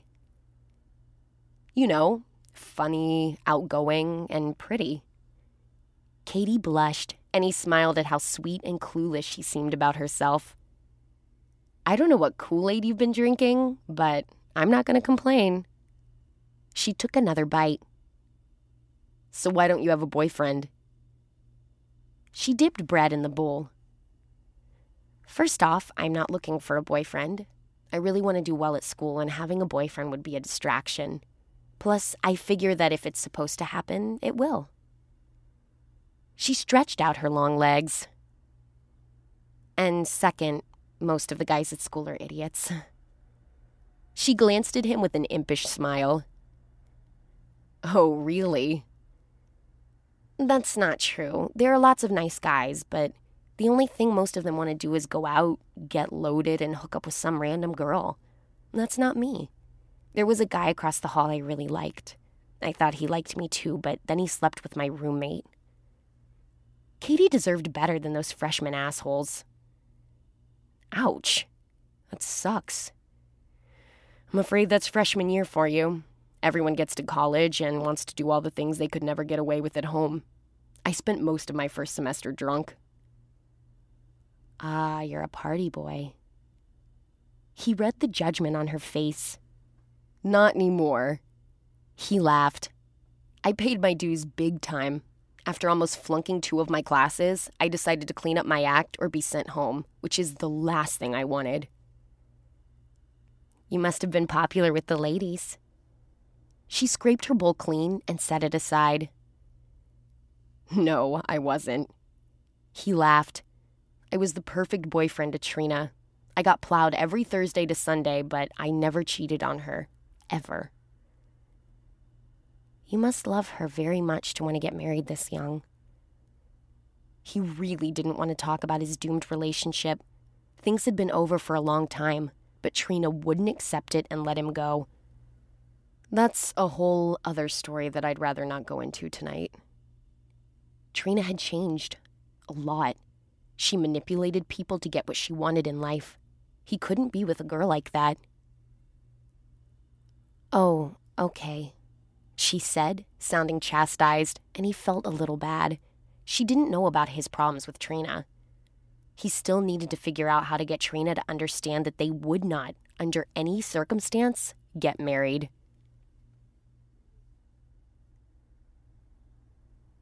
Katie yawned and covered her mouth. The long day had finally caught up with her. Sorry, the fire must be making me tired. That, or the fact you had a near death experience, fell into a river, and walked two miles in a blizzard. Alex teased, and then smiled in the sweetest of ways that showed off his dimples. Trina was one lucky girl. Katie wished she had a chance with Alex. She instantly scolded herself. Wasn't it some sort of sin to lust after someone else's boyfriend? What time is it anyway? Do you know? Alex checked his watch. Quarter after 12. It's officially December 24th, Christmas Eve. It is late. No wonder I'm so tired. She looked around the room, wondering how they were going to handle the sleeping arrangements. They sure couldn't use the bedroom with the gaping window. Alex must have read her thoughts, or at least noticed the uncertainty on her face. Let's move the coffee table out of the way. You can sleep on the couch, and I'll take the floor. Katie knew she should offer him the couch, but she ached all over, and sleeping on the cold floor sounded horrible. Are you sure? I feel terrible making you sleep on the floor. But the couch wouldn't hold two people unless they were twisted together like red licorice. It's fine. Unless. He eyed the brown sofa with the leaf pattern upholstery. He lifted the center cushion. It's a hide a bed. He removed the other cushions to reveal a handle and mattress hidden within. He turned to Katie with a naughty smile and asked, Want to sleep with me?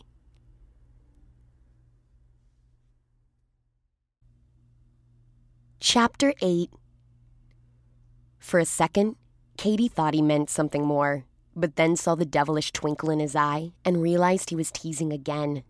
She couldn't imagine sleeping right next to Alex with his dark, sexy eyes and gorgeous face, but she couldn't exactly ask him to sleep on the floor when there was a comfortable bed available.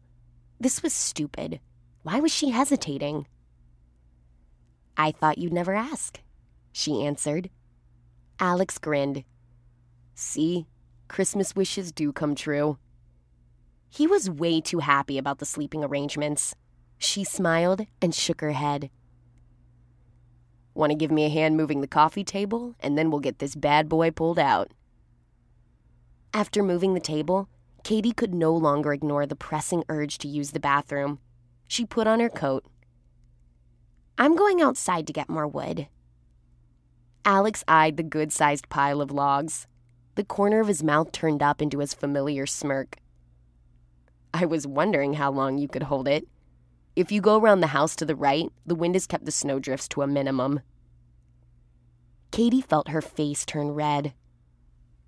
Thanks. She quickly slipped on her shoes and made for the door. One more thing, he called. Yeah? She looked back, wanting to escape. Watch out for yellow snow. She rolled her eyes and left him alone with his laughter. Outside, the storm raged. She wished she had a TV or the internet so she could watch radar and know how soon the storm would end. The wind whipped right through her baggy sweatpants. Alex was right. If she stayed close to the side of the cabin, there was a lot less snow. She edged around the corner and looked around for prying eyes. Duh.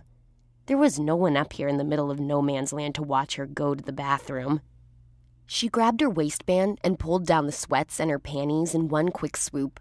She squatted and tried to relax and go, but Arctic air blew against her, a sensation she had surely never experienced before. The air felt so cold, she wondered if her pee would freeze before it hit the snow. She noticed the surrounding woods. What wild animals were out there? Deer? Bear? Coyote? She tried to hurry and get back inside before some large furry creature attacked her. Back in the cabin, Katie kicked off her snow covered boots. Holy cripes, it's cold out there, Alex stood next to the couch that he had made up with blankets and pillows from the bedroom and throw blankets off the couch. The scene looked like something out of a cheesy romance movie. Okay, this is weird, right? He asked. That's putting it mildly. She laid her coat on a chair and rubbed her cold hands together by the fire. I'm gonna step outside for a minute. I'll be right back.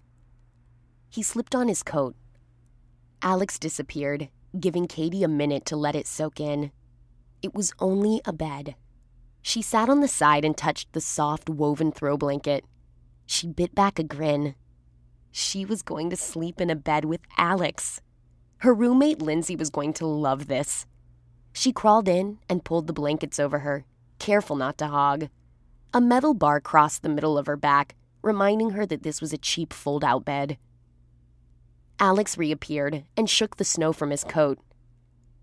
Honey, I'm home. Katie hid her smile. You're late, she called. He added more wood to the fire and placed a large metal screen in front of it. I figure we don't need to burn the place down. Alex sat on his side of the bed with his back to her. Katie chewed on the inside of her lip. He pulled back the covers and slipped in next to her. Katie lay with her arms at her sides, trying not to breathe too loud. She sensed Alex watching her. She turned her head. His handsome face was only two feet from hers. You doing okay? He asked, sincerity in his voice. I'm good.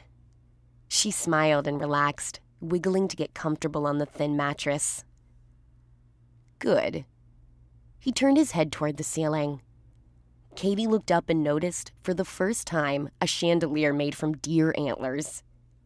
They lay in silence and watched the firelight dance on the ceiling. Will Trina be mad that you slept with someone else, even though we're only sleeping? Trina won't be mad. She will freak out. Oh, crap. I'm sorry. No, it's not your fault. Trina is the world's biggest drama queen. She freaks out when she breaks a nail or it's raining outside. She's always freaking out. Oh. Katie couldn't imagine why he was with a girl like that. You don't need to worry about Trina. I've got it under control. Or at least I will soon. She wondered what he meant. Would they have a big fight? Would he shower her with kisses and apologize? Would he give in to her tantrum? Katie realized she'd finally discovered a trait of Alex's that she didn't like being with a girl who wasn't good enough for him. Another minute passed before Alex spoke. Is it just me, or are our feet higher than our heads? It's like I'm laying downhill. I think I'm getting a headache from the blood rushing to my brain. Katie laughed. I noticed that too. They looked at each other across the pillows. Want to switch directions? He asked, like a little kid on an adventure. Yeah. They hopped out of bed and tossed their pillows to the floor. Together, they pulled the sheets out and slid the blankets and everything down and tucked them in at the sofa end. They tossed the pillows back and hopped in at the foot of the bed. Their heads were closer to the fire now instead of their feet. I feel like I'm at a slumber party.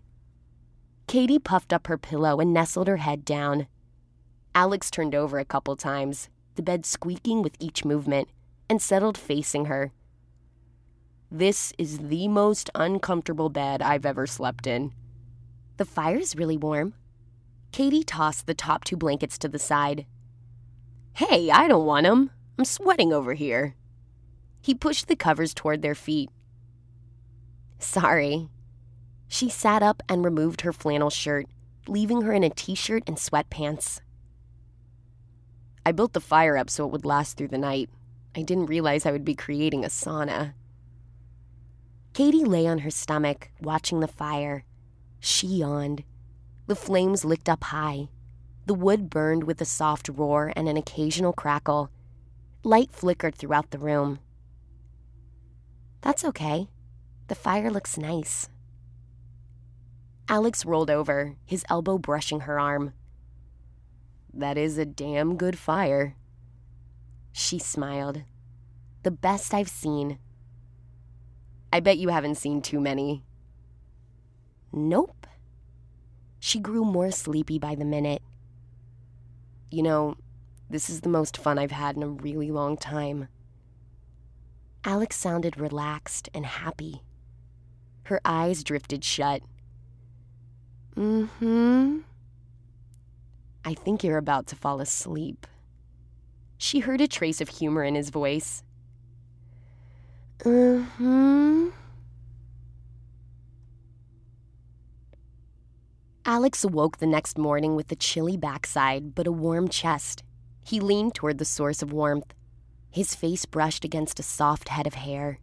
He opened an eyelid and found Katie curled into a ball against his chest. He grinned. All the blankets were pushed to the foot of the bed, and other than a few dying embers, the fire was out. He resisted the urge to snuggle closer to his little ball of heat. Instead, he moved as quietly as possible from the bed to stoke the fire. The bed creaked loudly, but Katie didn't move a muscle. Heavy sleeper, that one. The floor felt cold as a meat locker, and his breath turned to wisps of white in the frigid air. A glance out the window revealed the fierce storm still blowing. He removed the metal screen and loaded the fireplace with wood. Sparks flew as the wood caught fire. He crawled back into the creaky bed and pulled all the blankets up.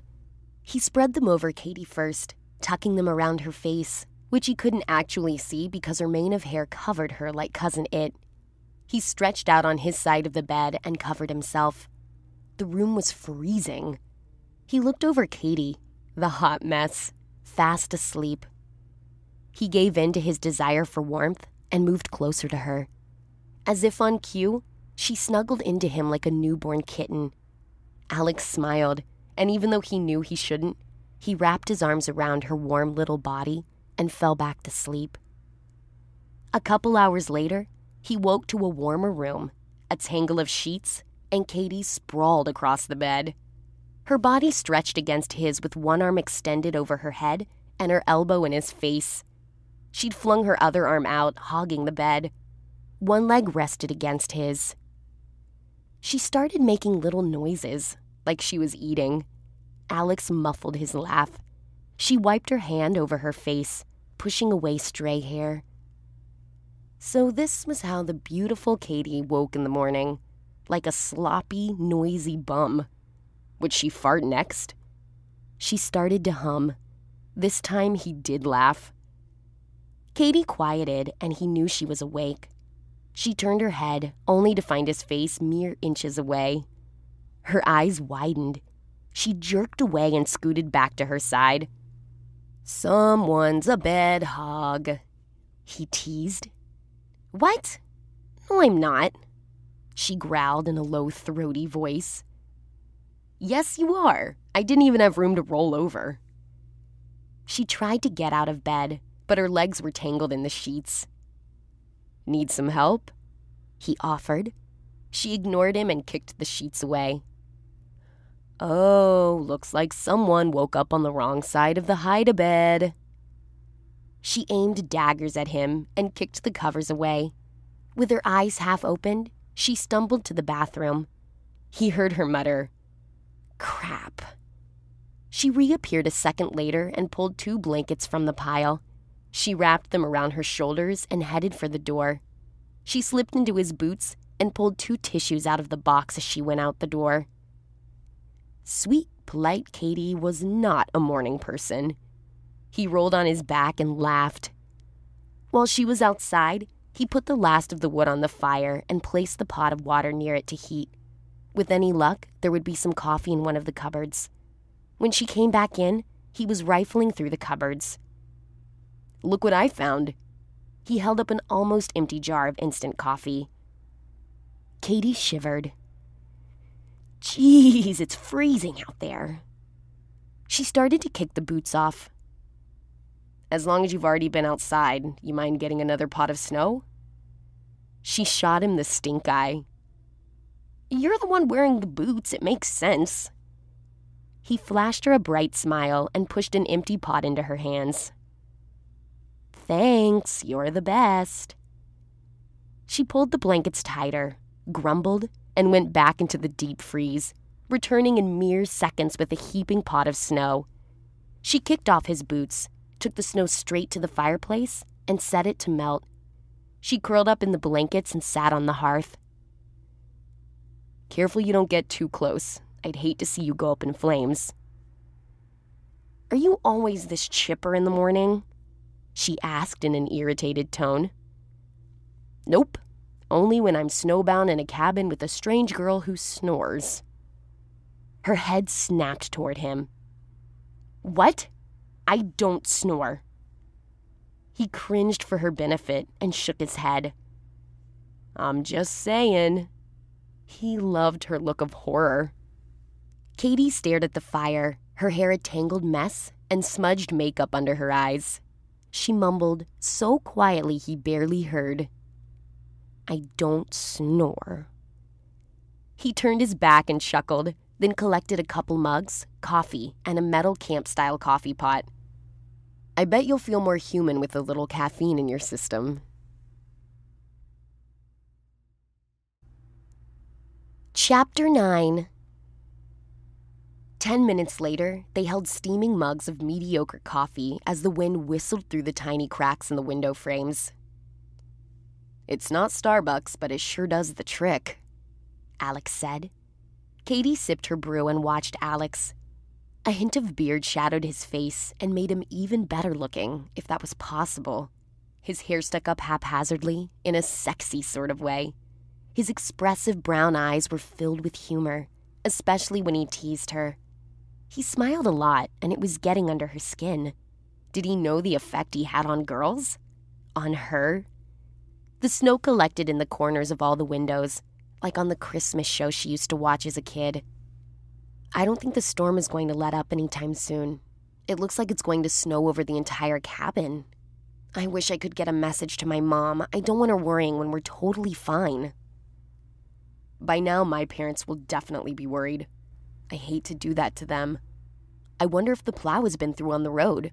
If it has, Maybe the driver saw my truck and will report it. I hope so. She watched the snow accumulate at the corners of the window. On the bright side, think how happy they'll be when we get out of here, he said. Katie pictured her mom hugging her and saying how much she loved her. Then her mom would apologize for making Katie come up north for Christmas when they should have stayed home like normal. Katie pictured a fresh start with her mom. Alex drained his coffee and put the mug by the sink. I think I'll go out and get more wood. He retrieved his boots from where she kicked them off. He put them on, along with his coat and hat. Back in a few. He flashed his sexy eyes at her as he went out the door. Katie's heart skipped a beat, and then she chastised herself. Stop liking some other girl's man. Not okay. She checked her jeans to find them a little stiff, but totally dry. Quick, before Alex came back, she slipped out of the oversized sweats and into her jeans. They hugged her close and felt much better. Normal. She retrieved her purse and rummaged around for her makeup bag. Spotting her phone first, she gambled on a long shot and checked it for a signal. Crap. Not only no signal, but the battery was dead. That was stupid. She should have turned it off. She tossed it back in the bag and pulled out her makeup.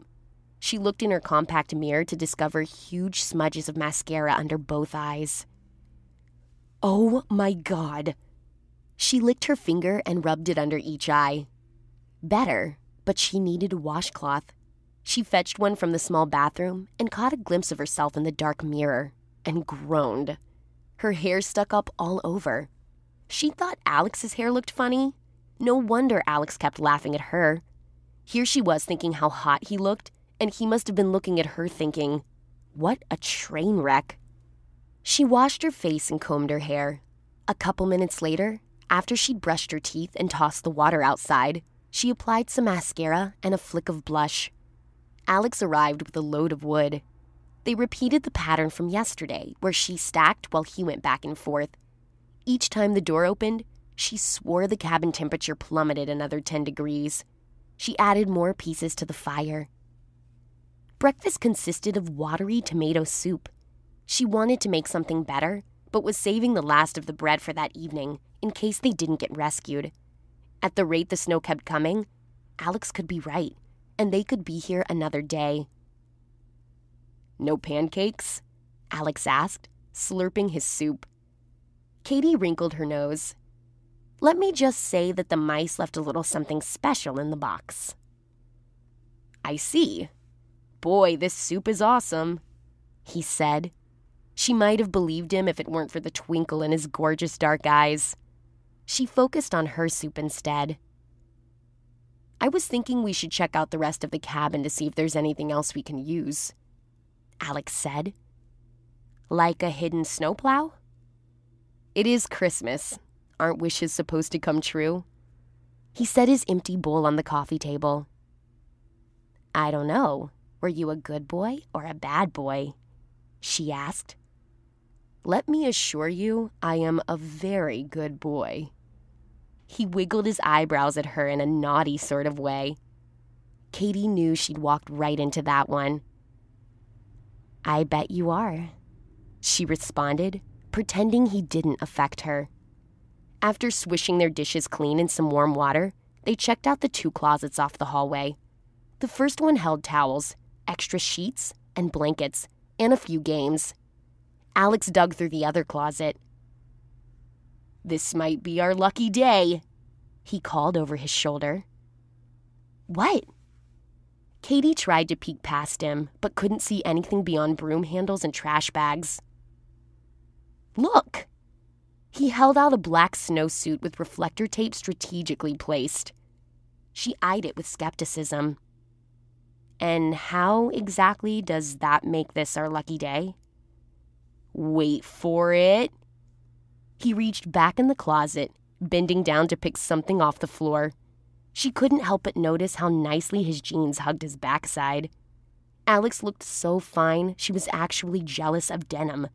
He turned and showed off a large helmet. She looked at the helmet and then at Alex. Sorry, you lost me. It's a snowmobile suit and helmet. As in, there must be a snowmobile in the shed outside. We can get out of here and I can have you delivered to your mom and not the boyfriend in time for Christmas Eve dinner. You think so? That would be great.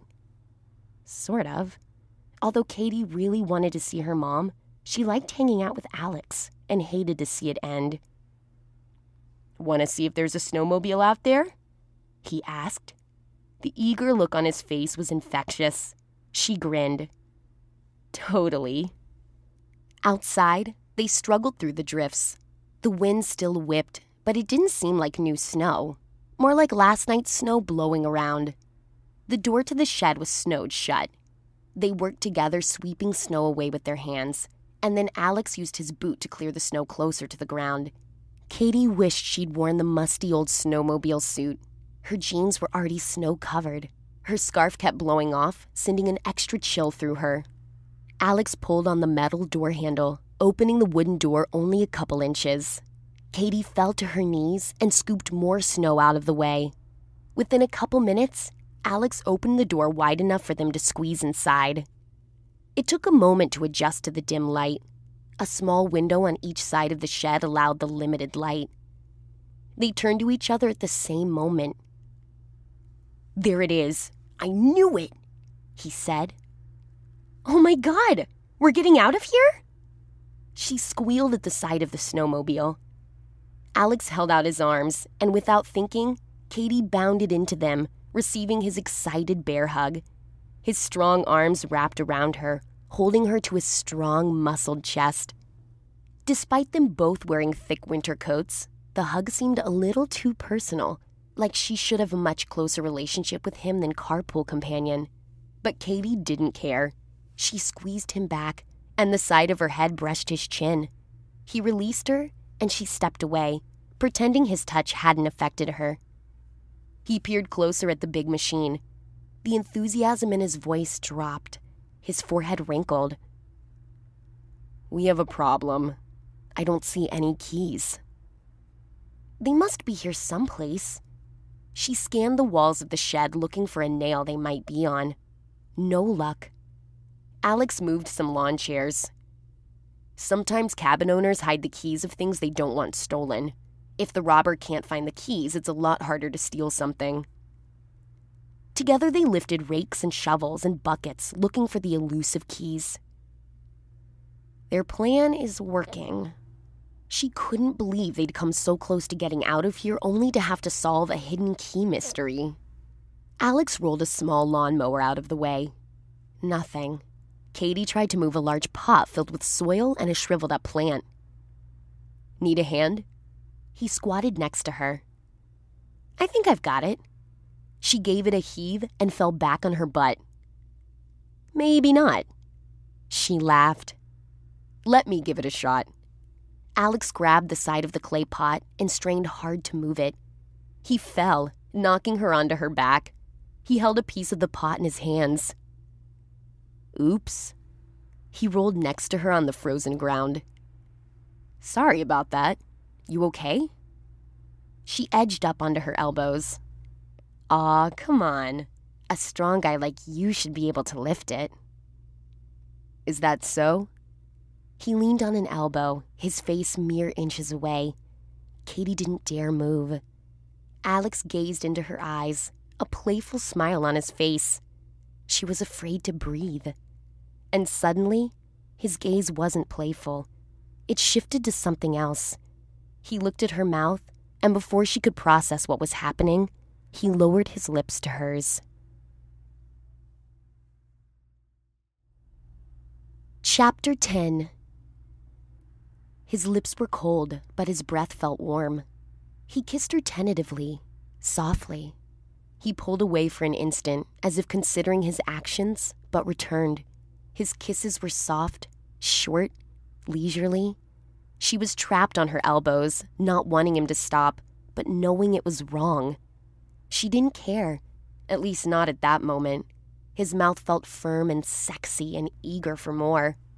A million thoughts shot through her brain like fireworks, but only one emotion won out She didn't want this to end.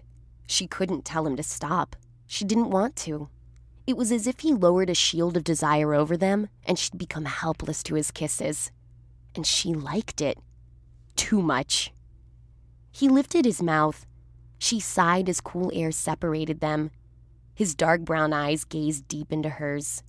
She recognized the desire that mirrored her own. But he didn't belong to her. He belonged to Trina. He was engaged to Trina. And he saw it the minute her emotion shifted from want to guilt, and he pulled away. Logic flooded back. You're engaged, she accused. I know. He sat back. What kind of guy kisses someone they've known for less than 24 hours when he's getting married? She sat up and touched her mouth, meaning to wipe away his kisses, but instead, touching her lips as if to make sure they had really happened. I shouldn't have done that. I couldn't help it. His head drooped. Did she hear him right? You couldn't help it? Oh my god. Do you cheat on her all the time? You are. You are horrible. She scrambled to her feet and stepped away from him. No, it's not like that. It's complicated. Thoughts of her parents' comments crashed in. It's complicated, her dad had said when Katie asked if he cheated on her mother. You think that by saying your life is complicated, it makes it okay to cheat on your fiance? I thought you were a really nice guy. I can't believe I was actually jealous of her. Now I feel sorry for her. Katie pushed the door open and left Alex alone in the shed with the snowmobile they couldn't drive. Why did this funny, gorgeous guy, who was off the dating market, have to turn her world upside down by kissing her? He took advantage of her, and he had no right. Katie deserved better. It was shades of her home life playing over again, only dragging her into it as a main character. People were misbehaving, and she was stuck in the middle. She stormed her way back to the cabin. Aw, oh, shit. Alex pushed a hand through his hair. What the heck was he doing? But he did know. Katie was so damned beautiful and smart and playful. She was everything that Trina wasn't. He looked at the spot she'd vacated, her red scarf lay all bright and cheery on the cold, hard floor. He lifted it to his face. The soft fabric caught on his unshaven chin. The smell of something fruity wafted from the scarf. Her shampoo, maybe. He inhaled deeply and then stuffed the garment in his pocket. Kissing Katie was a stupid move, but he didn't regret it.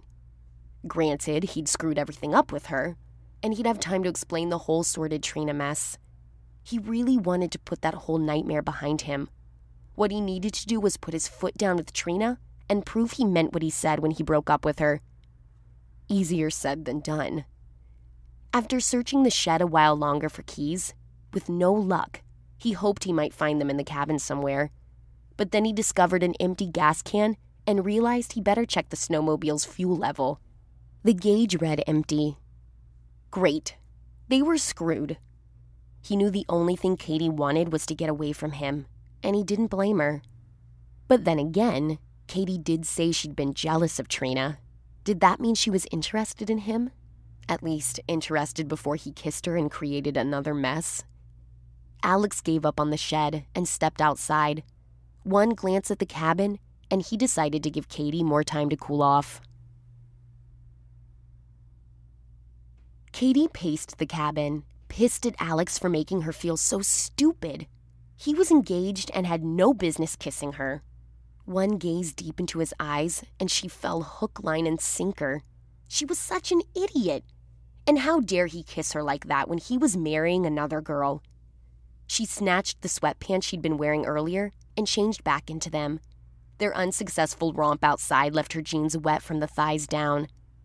She needed something to distract her and keep her mind occupied. In a minute, Alex would walk through the door looking all tall and handsome with those deep, soulful eyes of his. She didn't want him to know how much he affected her. One glance at their meager food supply on the counter, and she decided to check the cupboards more thoroughly now that daylight streamed in. She discovered bowls and dishes, a drawer of old plastic shopping bags. The cupboards were bare until she reached the corner cupboard.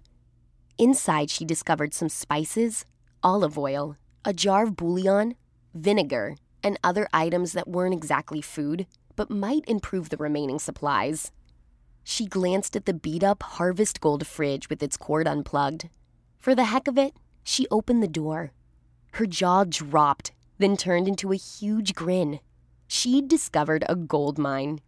While the unplugged fridge couldn't keep food cold, it did provide a secure place to store dry goods. Among the goodies, she found a package of spaghetti, a box of seasoned rice, snack crackers, hot cocoa packets, and three bottles of wine. She pulled the items out, hugging them to her body.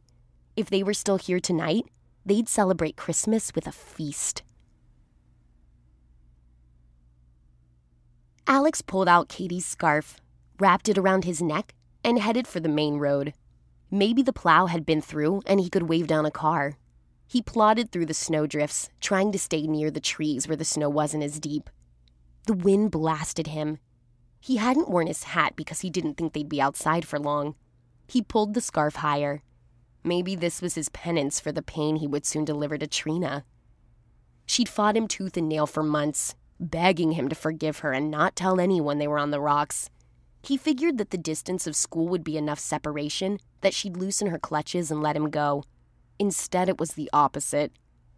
Finally reaching the road, he saw that a plow had been through at some point, but the blowing snow had drifted back across the road, creating deep waves like an angry sea.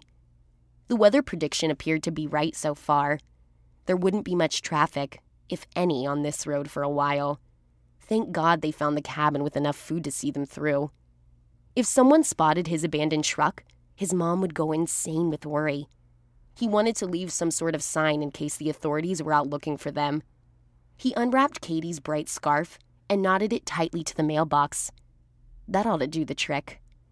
He pulled the collar of his coat higher and stuffed his hands deep in his pockets as he braced against the wind and followed his tracks back to the cabin. The blowing snow was already erasing his footsteps. Twenty minutes later, Katie breathed a sigh of relief when Alex returned, along with a blast of wind and snow. She smiled brightly and pretended their kiss never happened. I was starting to get nervous. You were gone a long time. I thought I might have to go out after you. Or that he was rescued and left her behind. She wiped that thought away. Alex would never do that. I was fine. No need to worry. He toed off his boots and then pulled off his gloves and coat, avoiding eye contact. Maybe, but in a bad blizzard, people have actually walked past their house and not even known they've missed it. You could have frozen to death, she said. Alex hung his coat over a chair. That's why Pa tied a rope from the front door to the barn. He bit back a smile. She looked at him cockeyed. You read Little House on the Prairie? He warmed himself by the fire. My mom used to read it to us as kids. He grinned. Bet you didn't expect me to know my Laura Ingalls Wilder. No, you surprised me with that one. Now I've got a surprise for you. She joined him at the hearth, glad to be getting along with him after the awkward moment in the shed. She used a hot pad and poured hot water from the kettle into a cracked Green Bay Packers mug and another mug advertising fishing lures. She stirred the contents up and handed him the Packer mug. He looked at it with disbelief. Is this hot cocoa? Yup. He took a whiff of the steamy drink. Where'd you find it? He was about to take a sip and then paused. There aren't mouse droppings in it, and you're trying to get back at me, are you? She laughed. No, it turns out the fridge was packed with food. Apparently, that's where you hide stuff you don't want the critters to find. We will be feasting big tonight. Alex sat near the fire and took a sip. Oh, that's good. He closed his eyes and savored the taste. His sated expression reminded Katie of how she felt when he kissed her. Only thing better would be a shot of schnapps. Did you find any of that? He asked. No schnapps, but I found three bottles of wine. No way. That is awesome. Looks like we're going to have a party. Katie relaxed, knowing they were over their earlier fight.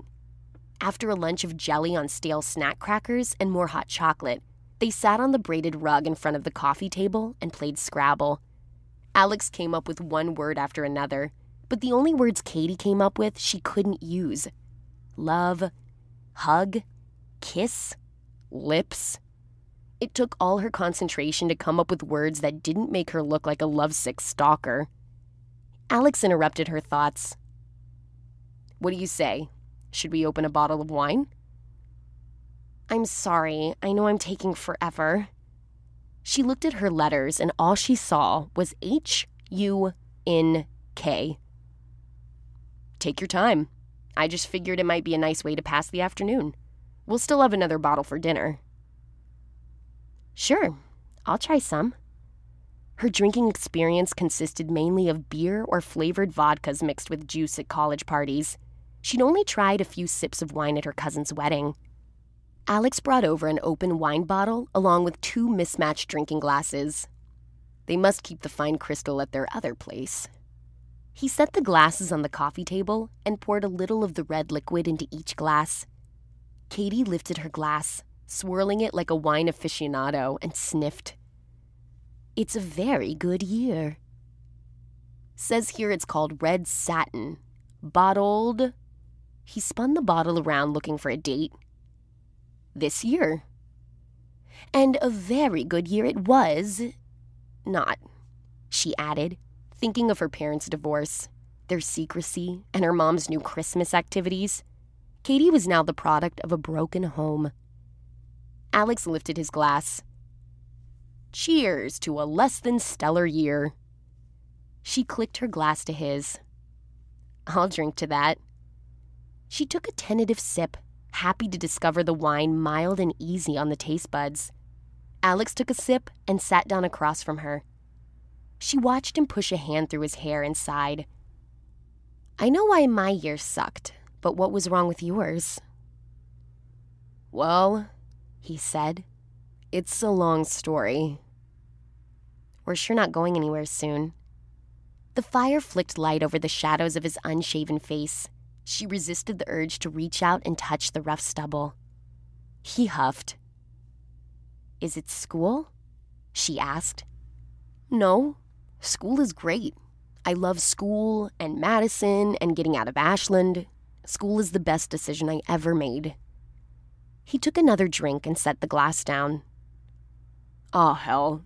It's a big cluster. He leaned forward with his head in his hands. Katie couldn't imagine what could be so wrong about his life. Her roommate said he was engaged. She didn't mention anything about family troubles, and it obviously wasn't school. You don't have to talk about it if you don't want to. He rubbed his hands over his face. No, it's okay. Maybe if I actually tell someone, it'll be easier for me to get through. You know about Trina? Your fiance? She nodded. He rolled his eyes. Not your fiance? No, she is. Sort of. Oh. The truth dawned on her. You don't want to be engaged anymore. Hope blossomed inside her. He grimaced. Exactly. And you plan on breaking up with her? He nodded. On Christmas? He nodded again. Katie cringed. Ouch. But inside she felt a leap of joy, kind of like her Christmas came early. She touched her mouth, thinking of his earlier kiss. Now it didn't seem quite as wrong. I know, it's bad. Alex drummed his fingers on the coffee table. So, do you have to break it off now? I mean, couldn't you wait until New Year's? Because that wouldn't hurt either. Or right before I head back to school. He shook his head. No matter what I do, I'm screwed. I'll come off as ten times the asshole. He started to bounce his leg. The poor guy was a mess. She had to agree his timing couldn't be worse. Unless. She doesn't have a Christmas birthday, does she? Because that would be downright cruel. No. I've tried breaking up with her before, and she ignores me and acts like nothing ever happened. Wow. You've been thinking about this for a while. She took a large drink of wine. Pretty much every second since she told me she lost the baby. Chapter 11 There, he'd said the words. She knew. Katie choked on her wine and coughed. Baby? Back the truck up. Start over, from the beginning. He took a fortifying gulp of wine. I've had problems for the last year and a half. Trina and I started dating our junior year of high school. She was the hot girl, and well, we had fun together. One glance at Katie, and he knew she was still digesting the baby comment. After high school, I wanted to go to college and get on with my life, but Trina didn't want me to go to Madison. She wanted me to go someplace closer to home, like Sturgeon Bay or maybe Eau Claire. When she figured out I was sticking to Madison, she said that if anyone could make a long distance relationship work, it was us. I liked her a lot, and I was clueless, so I said I was willing to give it a try. But while I was at school, she turned into some small town prima donna, acting like she was better than everyone else. He glanced at Katie. She listened and didn't say a word. He didn't want her thinking badly of him. Everything about her was light and refreshing. He worried that sharing his shitty life with Katie would drive her away. I don't know if I just didn't see it before or if Trina changed. She was probably the most popular girl in school, and she knew it. Still, I figured she'd do something with her life after graduation. But she didn't. No. If anything, she became more self obsessed and mean. It's like she wanted to be the queen bee of the whole town. She started sticking her nose in other people's business and gossiping like an old woman. All she wants is for us to get married and start having kids. She even talked her dad about me going to work for him. He owns the largest logging company in three counties. Trina has it all figured out. Trina sounds like a real piece of work, Katie mumbled, then looked up. Oh, did I say that out loud? He smiled weakly. It took me a while to see what she was doing. After freshman year, when I came home for the summer, I knew I needed to end it. She wanted us to move into an apartment together. It was like she wanted to play house or something. We were 19. The more distance I tried to put between us, the more she held on. She was jealous of every friend I had and always thought I was cheating on her. I don't know if she was watching those Bridezilla reality shows or what. She mentioned getting married, and when she saw the terror in my eyes, she backed off. But you ended up engaged anyway, Katie said. Yeah, she got pregnant, which was a miracle because we'd only been together one time since I came back from school, and that was after I got drunk on my birthday. So you offered to marry her? I didn't want to be the jerk who walked away from his own kid. That wouldn't be right. Before I knew it, Trina and her mom set a date and she's out shopping for dresses. Alex looked at Katie's expression. You think I'm an idiot for knocking up a girl I wanted to break up with? No. I feel bad because you're a really nice guy who was taken advantage of. He rolled his eyes and took another sip of wine.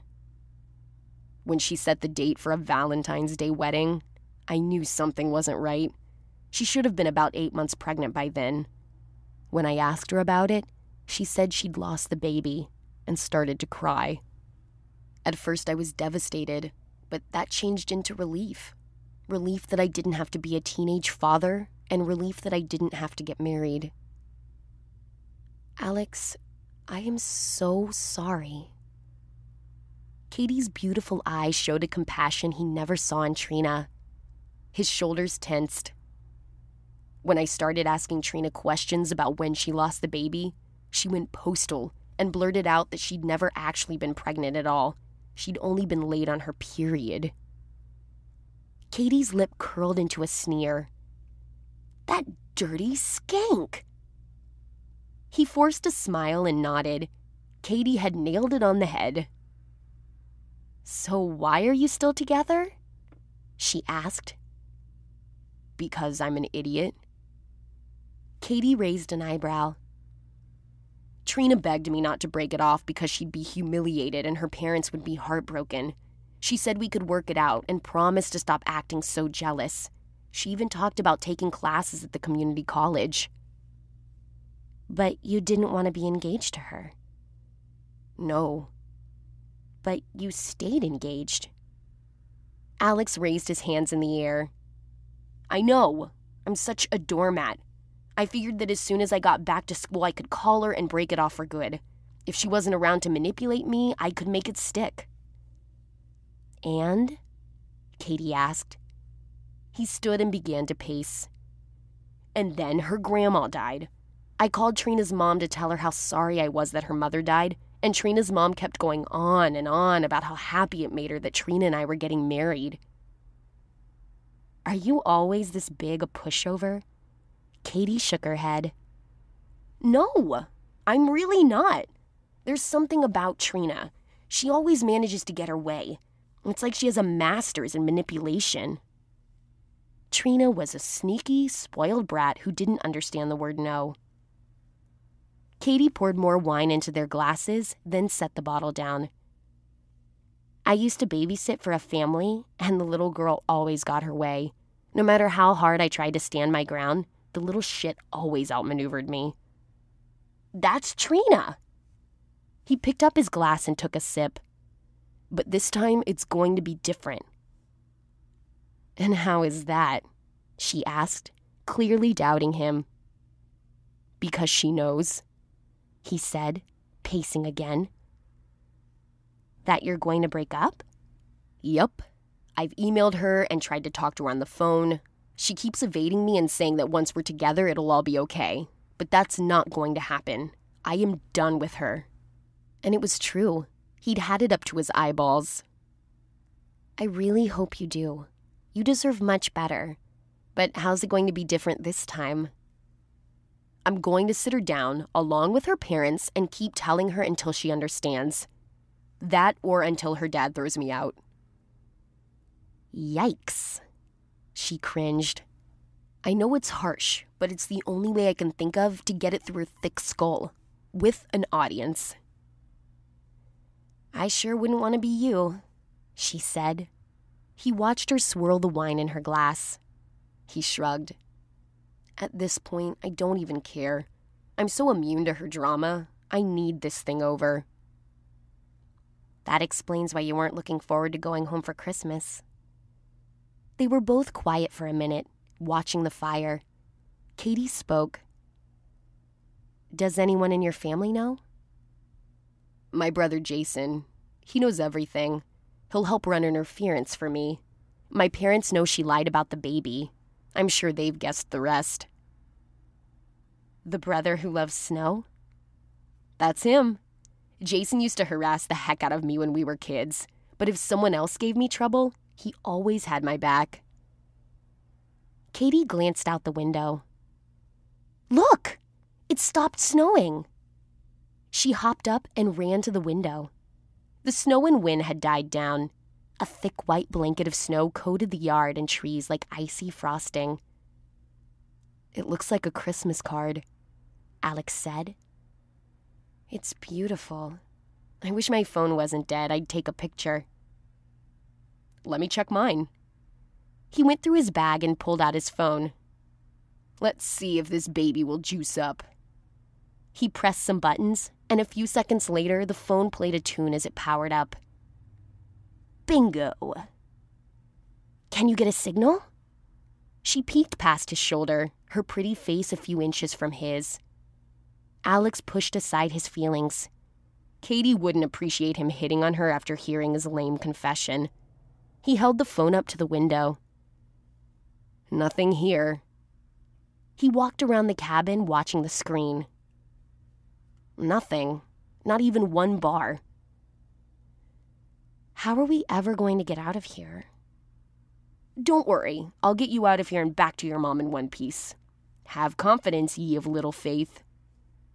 He aimed his phone out the picture window and snapped a shot of the beautiful scene, and then a quick one of Katie, in case he never saw her again. He put his phone away. Oh, I forgot to tell you, your scarf fell off in the shed. I tied it to the mailbox out by the road. That ought to help signal anyone out looking for us. I hope that's okay. That's a great idea. Now that the snow and wind have stopped, plows should be all over these roads. Plus, my family isn't known for staying idle. I'm sure they're ready to send out a search team. He could picture his dad coordinating all their friends and neighbors and spreading out over every county road. My mom must be going nuts. I feel so bad. She stared out at the pristine scene. Alex put his arm around her shoulders and gave her a comforting squeeze. It's going to be fine. It'll all be over soon. He liked how Katie fit under the curve of his chin. Thanks. She put her arms around his waist for a quick hug, but then removed it and let air separate them. He stepped away so it wouldn't get awkward. I know what will cheer you up. I can't believe I didn't think of this until now. He went to his bags. What? He pulled out his laptop. I have music on my laptop and enough battery life to last for at least a couple hours. They were going to have fun tonight no matter what. Soon he'd be facing reality, but right now they had this magical whisper of a Christmas Eve. Oh my god, that's a great idea! Do you have any Christmas music? Because I've got all kinds. She rushed for her laptop too, her face bright with excitement. I don't know, let's see. He turned it on. The familiar dings and hum of his computer filled the air. It's weird hearing the sounds of technology when it's been so quiet in the cabin without power, she said. It's music to my ears. He clicked away at his computer. I've got a lot of stuff, but I'm not finding anything Christmas. Katie powered up her laptop. My guess is that you have a lot of country music. He grinned. And you have a problem with country music? No, if your tastes are just a bit one dimensional. I happen to like a lot of music, but country is my favorite right now. Well, I've got a mother lode of holiday music. My mom collects Christmas CDs. Who knows? There might even be a couple of country Christmas songs. Her computer lit up, and she clicked a couple of icons. Oh my god! a connection to the real world. This is amazing. Even though we can't get Wi Fi, I almost want to kiss the screen. And I want to kiss you again, Alex thought, but didn't dare say. Chapter 12 With Christmas tunes playing softly from her laptop and the firelight flickering, it truly felt like Christmas Eve. Katie experienced the same joy she did as a little kid only instead of anticipating presents, this year she looked forward to a one of a kind Christmas with Alex. Could you please hand me the olive oil? Thanks. She accepted the bottle and swirled the oil around the large frying pan she'd heated over the fire. Her face felt hot from working so close to the flames, but she didn't care. She'd never had this much fun making dinner, and Alex liked helping, which made it even better. Okay, now pour in the pasta. Alex had been in charge of cooking the pasta, which turned out to be tricky. The water barely reached a boil, but the pasta eventually cooked. He leaned close to Katie and poured the sticky noodles into her fry pan. She enjoyed the scent of his skin and the way his hair curled around his ears. What exactly are you making? He asked as she mixed the noodles in with the olive oil and added dried parsley flakes from a spice bottle. I'll call it stir fry, minus most of the ingredients. If we had some chicken or onions, that would help a lot. She sprinkled garlic and onion powder over the top and gently shook the pan to saute the pasta. The spices in the cupboard were a bonus. You want to turn the garlic toast again? Sure. He used the tongs and flipped each piece of bread, she drizzled olive oil on the remaining slices of sourdough bread, along with garlic powder and some red pepper flakes. This smells amazing. He flashed her a hungry smile. It's the garlic. I love garlic. Okay, I think it's done. She dumped the stir fried pasta into a large bowl and set it on the coffee table that she decorated for their Christmas dinner. A white sheet from the linen closet served as a tablecloth. She found a basket of pine cones in the corner and arranged them with pine boughs from outside. Their nearly burned out candle nestled in the center. Where do you want the bread? Here. She held out a small plate and he slid the slices onto it. This looks so good, Alex said, and she couldn't agree more. They both sat down and looked at their small feast. Oh, I almost forgot. She grabbed the can of Parmesan cheese and rattled it until the cheese loosened up. She sprinkled it over the pasta. There. Katie leaned back as Josh Groban's Christmas song, Believe, played. Not a bad sentiment considering their situation. Alex poured them each a glass of wine from a freshly opened bottle. This is one of the coolest Christmases I've ever had. I don't think I'll ever forget it. I'll probably be telling my grandkids someday about the Christmas Eve I was holed up in a cabin with a beautiful girl and we cooked our holiday dinner over a fire. Katie's face flushed, and it wasn't from the heat of the fire. Here's to the cabin owners. Thank you for leaving us food. They raised their glasses. I'll drink to that. Alex took a sip. I'm starved. They filled up their plates with Katie's creative dinner. The crunchy toast tasted warm and garlicky. The pasta was a little sticky, but the combination of olive oil and spices worked well. Katie, this tastes great, Alex said, swirling pasta on his fork. It's because you're really hungry. But I agree. It turned out pretty good considering we didn't have an actual stove. If this were a normal Christmas Eve, what would you be doing? He asked, taking another bite. She wiped her mouth on a dish towel. It would be only my immediate family. We don't see my grandparents and cousins until Christmas Day. That's when we'd have the big ham dinner. Mom would put out appetizers around 4:30 in the afternoon and we'd play games. When we were little, we played spoons. The last few years we've played Oh Hell. Oh Hell? Alex laughed and his eyes danced. What kind of game is that to play on Christmas? It's a card game. She smiled, remembering all the hours her family played games.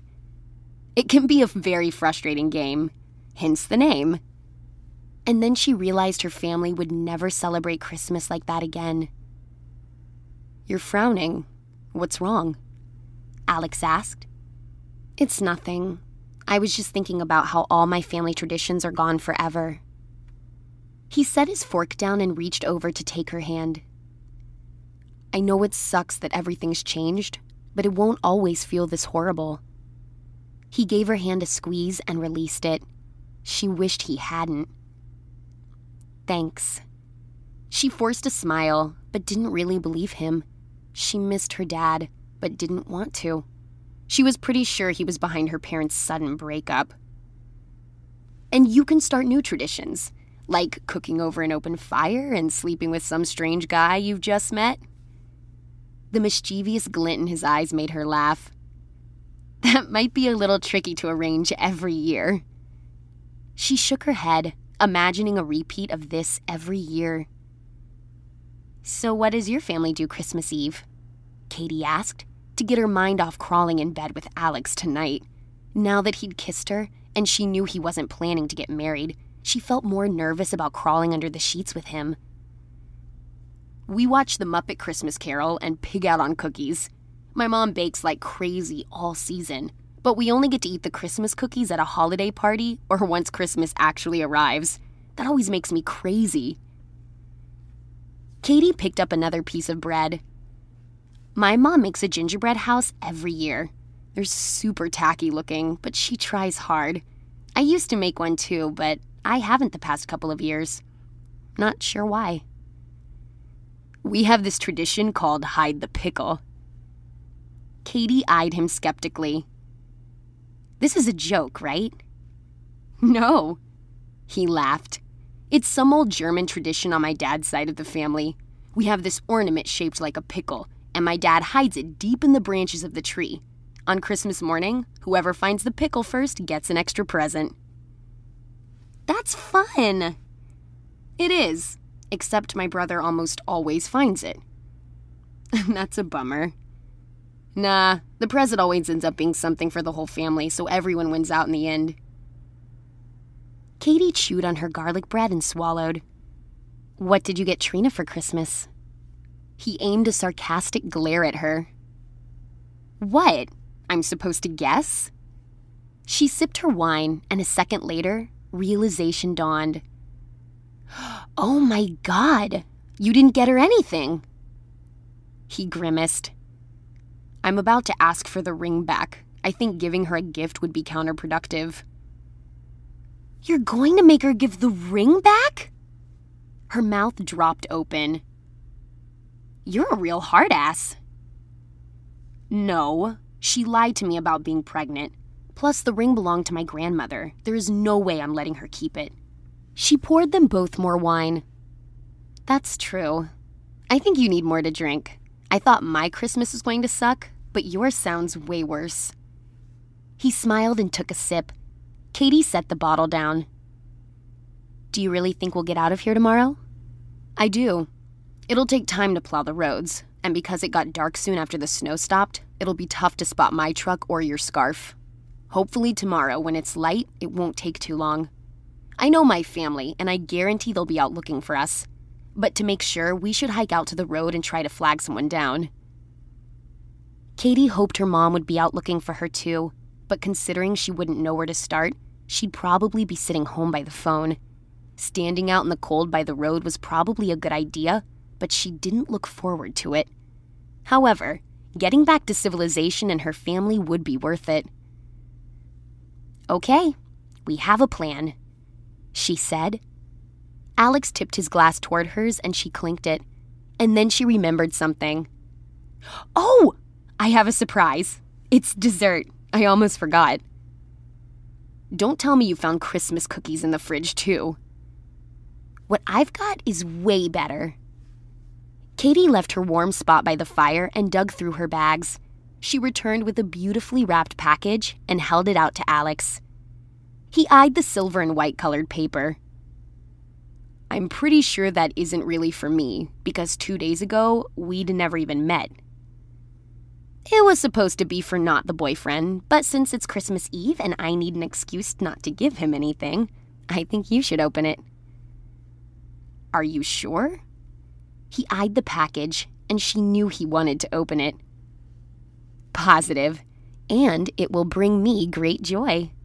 She smirked if it brings you joy, then by all means, I'll open it.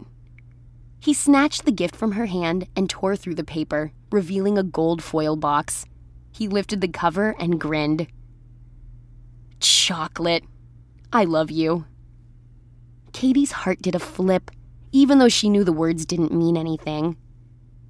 I figure we need a treat more than he does. They're truffles.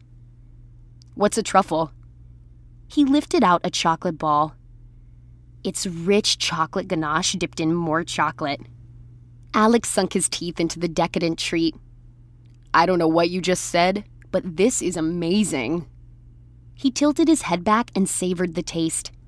Katie grabbed one, plopped next to him on the couch, and took a bite. God, I love these things.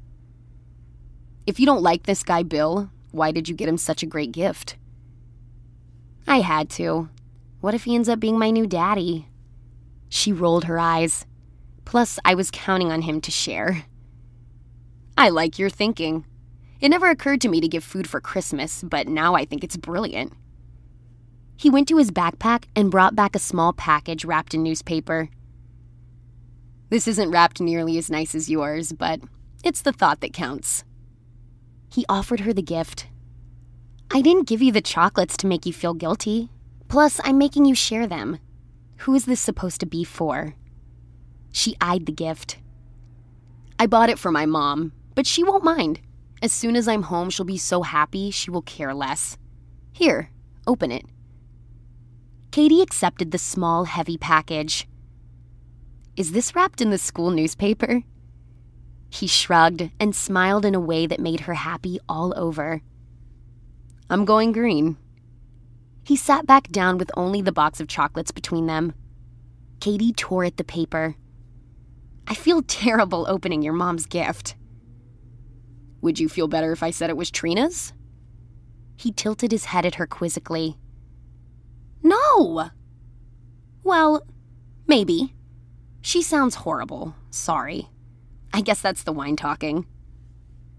If it takes a couple glasses of wine to get you to speak your mind, I'll keep it coming. No, I wouldn't want another girl's present. That would be weird. She wanted something he picked out especially for her. Then it's a good thing I didn't get her one. She unwrapped the gift and discovered a scented candle. This is great! I love candles. I bet your mom does too. She teased and took a sniff. Oh, that smells great. Just like Christmas. It's cinnamon. My mom loves it. I get her one every year. Thank you. And thank you to your mom. You're welcome. Are you going to light it? Absolutely.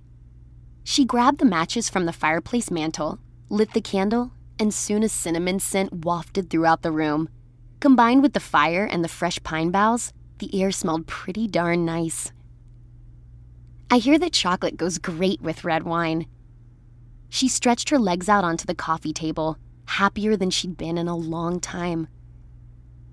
Doesn't sound like a bad combination. Let me try it. Alex took a bite of truffle and then a sip of wine. He moaned. Yeah, it's good stuff. Katie tried it too.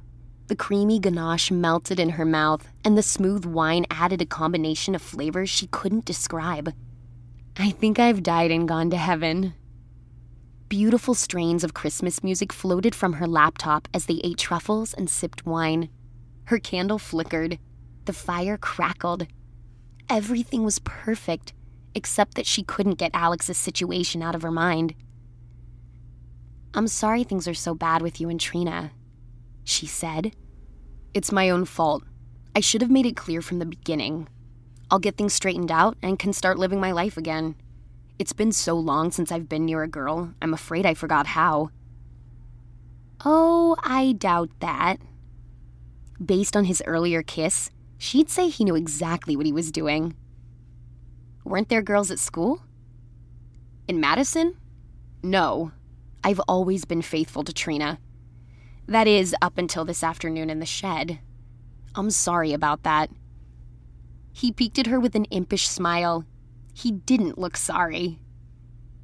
It's okay. She dipped her head. It was nice. She bit her lip. She shouldn't have said that. She reached for a truffle to fill her mouth with something and stop saying stupid things. Alex's hand covered hers. He gazed at her with something more than casual interest. She gulped, wanting him, but knowing she shouldn't. He leaned across the box of chocolates and kissed her. He tasted of red wine and sweetness, a combination she would never forget and would always associate with Christmas. I know it's not official yet, but in my mind, I'm single. All that's left is the formality of telling the rest of the world. Katie nodded. She did understand, but still felt she was crossing a line she shouldn't. But she didn't care. Alex was here, the most handsome guy she'd ever met. He smelled like the outdoors and a campfire. He tasted like a miracle. If you don't mind, I'm going to kiss you again. He brushed her cheek with the pad of his thumb. I don't mind, she whispered unable to say anything more coherent. Alex moved the chocolates and eased her into his arms. He kissed her with such tenderness and hunger, she thought she'd burst. He wrapped his arms around her like satin ribbon on a priceless gift and gently caressed her back. He curled a hand under her hair and tickled the nape of her neck, all the while kissing her mindless. She sighed in his mouth and felt him smile. You taste so good. He breathed in her ear. Like garlic and onion? She asked. No, not that I'd mind, as I happen to love garlic and onion. You taste like dessert, sweet and tangy and decadent. He captured her mouth again, and Katie lost track of time. Chapter 13 A loud rumbling disturbed Katie's slumber. She hated mornings, and she hated waking up early, especially when enjoying such a great dream. Her head ached from too much wine, and her mouth tasted fuzzy and gross. She reached up to scratch her nose. Cold air chilled her face. She tucked her hand back under the covers and snuggled into the comfort of soft covers and a warm, firm body next to her. Katie's eyes popped open. Alex lay facing her, one arm under his pillow, the other over her waist. His face, relaxed and gorgeous, sent her heart into somersaults. She took a moment and enjoyed the view of his tousled hair and perfectly shaped mouth. During the day, she tried not to stare at him in case he caught her. But like this? Ah, the way that man kissed. She smiled, remembering their marathon makeout session, and wiggled her toes. She heard a noise. It sounded like a car door slamming. Oh my god, were they getting rescued? She sat up and Alex's arms slid onto her bare legs. Was it the owners? She glanced around at the empty bottles, chocolate wrappers, and dishes from their Christmas Eve party. Instead of stockings over the fire, stray clothes were draped and drying over chairs. They'd sort of trashed the place. Alex, somebody's here. She nudged him. He stirred. What? Someone knocked on the cabin door. She startled. Wake up! She shook Alex again. Suddenly, the door opened and a young guy entered. He wore a knit hat, a thick coat, and no gloves. Hello? Anybody here? His eyes scanned the cabin and immediately landed on Katie, the pull out bed, and Alex's back. Oh. He averted his eyes. I'm sorry to intrude. I'm trying to find my. Jason? Alex rolled over and sat up, immediately awake. The young guy broke into a huge grin. Alex, you son of a bitch! He stomped the snow off his boots and crossed the room. Alex, wearing nothing more than plaid boxers, met Jason halfway. They exchanged a bear hug and pounded each other on the back. Katie stared at Alex's long legs, lean waist, and muscled chest. She couldn't believe she'd snuggled against him all night. She smoothed her t shirt and wished she hadn't slipped off her sweatpants last night when she got too warm. Alex's body radiated heat like a furnace. What would his brother think of her? Why am I not surprised it's you that showed up? Alex asked. Both men grinned, and Katie saw the brotherly resemblance. New tires, a snowplow, and the biggest blizzard in years. How could it not be me? Plus, watching mom bite her nails and try not to cry put a damper on the holidays. You really screwed up Christmas. Sorry about that. Alex scratched his head, mussing his hair more. Oh, shoot. I'm sorry. Katie, this is my brother Jason. I told you he loves to play in the snow. Hi, she said, embarrassed to be found in bed with his brother. Her head throbbed, and she knew she looked like hell. She certainly felt like it. Hi, he said. She noticed that Jason fought back a grin as he took in the disarray of the room. It looked like they did a lot more than they should have. Jason turned to his brother. Alex, I should warn you. Alex interrupted before his brother could finish. Jason, Katie made the most amazing meal last night. Alex, Jason started again with a concerned expression. You wouldn't believe what she can cook over a fire. Alex! Jason snapped loudly to get his attention. What? He answered, distracted. I didn't come alone, he said in a quiet voice and tilted his head toward the door. Oh, Alex said. Oh! His eyes bugged out and he turned to Katie with a pained expression. What? She wished she could read his mind. The door opened and a whip of a girl appeared. Dressed in a white jacket with a fur lined hood, she could have modeled in an ad for the Ugg boots she wore. Silky blonde hair, pink glossy lips, and long dark lashes framed her doe eyes. Trina. Katie stared, dumbstruck, at this tiny cream puff who'd invaded her secret snowed over holiday. Alex! Oh my god! She launched herself unexpectedly into his arms. Oh, baby, I was super worried. You have no idea. Last night I almost didn't open my Christmas gifts because I was so upset. She hugged and kissed him repeatedly while he tried to hold her off. Katie wanted to evaporate into thin air, but couldn't pry her eyes off of Alex and the white tornado wrapped around him. He held Trina stiffly and set her on her feet. He wiped his mouth and glared at his brother. Jason shrugged. When she heard I was heading out at daybreak to search for you, she insisted on coming. She wouldn't take no for an answer. You know how it is. I was so scared. I cried all night, Trina exclaimed. Katie doubted it, based on Trina's bright eyes and porcelain complexion. Alex peeled Trina's arms from his waist, but she clung to his arm. He glanced at Katie, clearly embarrassed. Katie averted her eyes and grabbed her jeans off the nearby chair. Would she ever get the image of sexy Alex, dressed in his underwear and the highly polished Trina, out of her mind? Why did Trina have to be here? How did you find us? Alex asked Jason. The police called last night when they found your truck in the river. You sure know how to freak people out. You should have been in the truck. That wasn't exactly a sleigh ride, was it? Alex turned to Katie. Katie glanced at him as she pulled her jeans over her hips.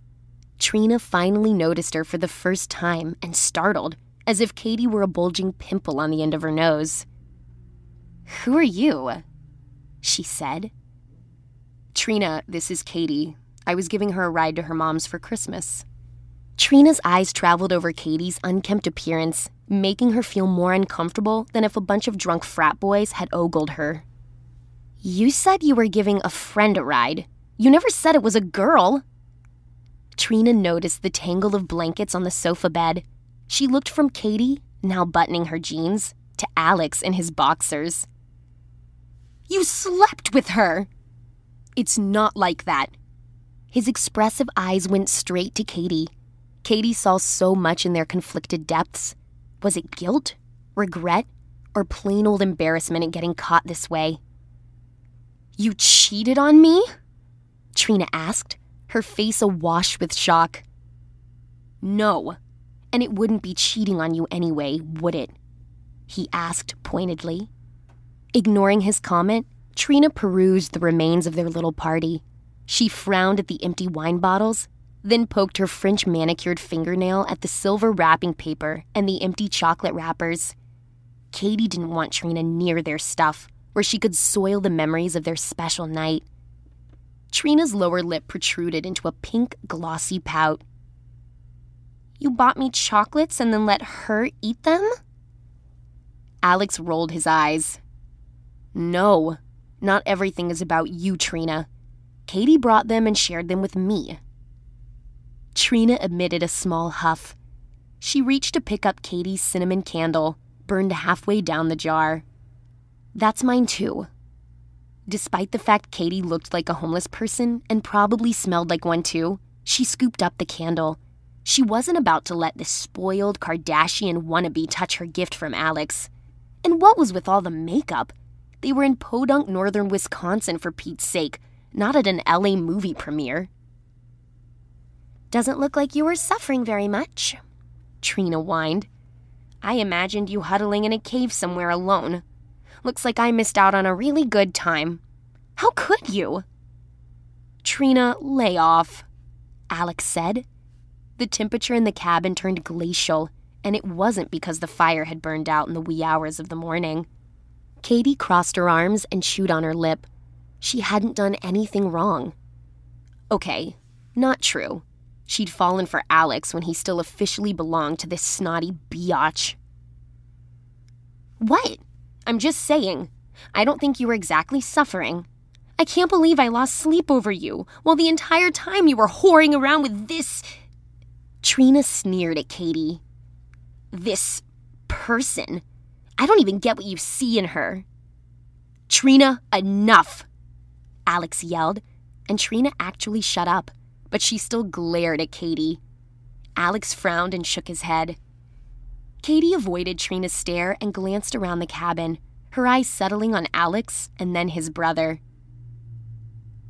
Well, do you guys want to stay here all day or do you want to go home? Jason asked. Let's get the heck out of here, Alex said, with the first note of optimism since Trina walked in. Yeah, the sooner the better, Katie mumbled.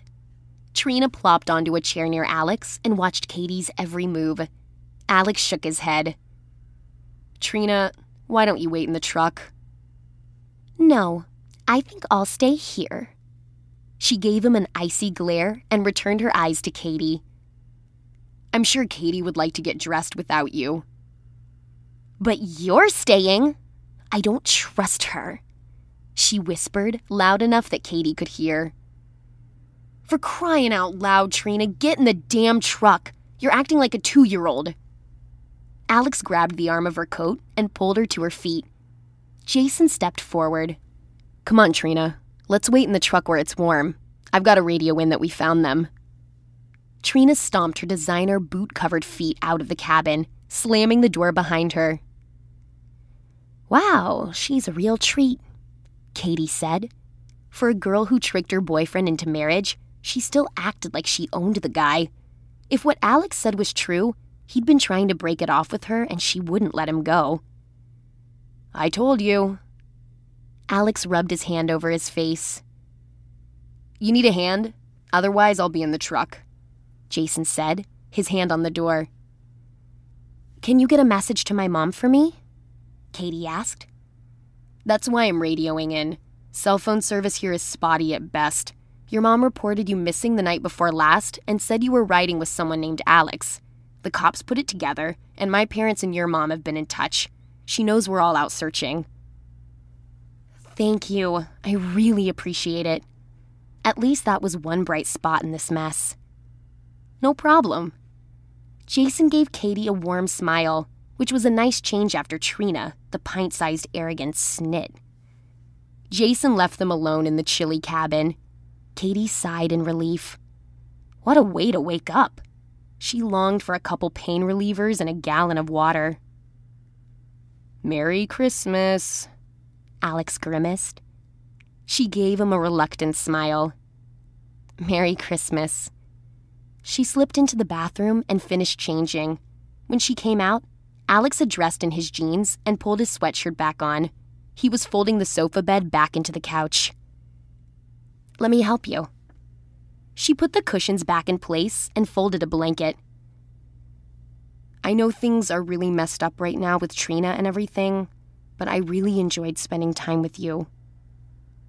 Alex looked so earnest as he rolled a sheet into an unruly clump. So did I. All Katie could think about was the hours she'd spent in his arms, making out in front of the crackling fire. I'm sorry Trina was so. bitchy? She offered. Despite Trina's little performance, it was clear she didn't care about anyone other than herself. He laughed. Yeah, that's about right.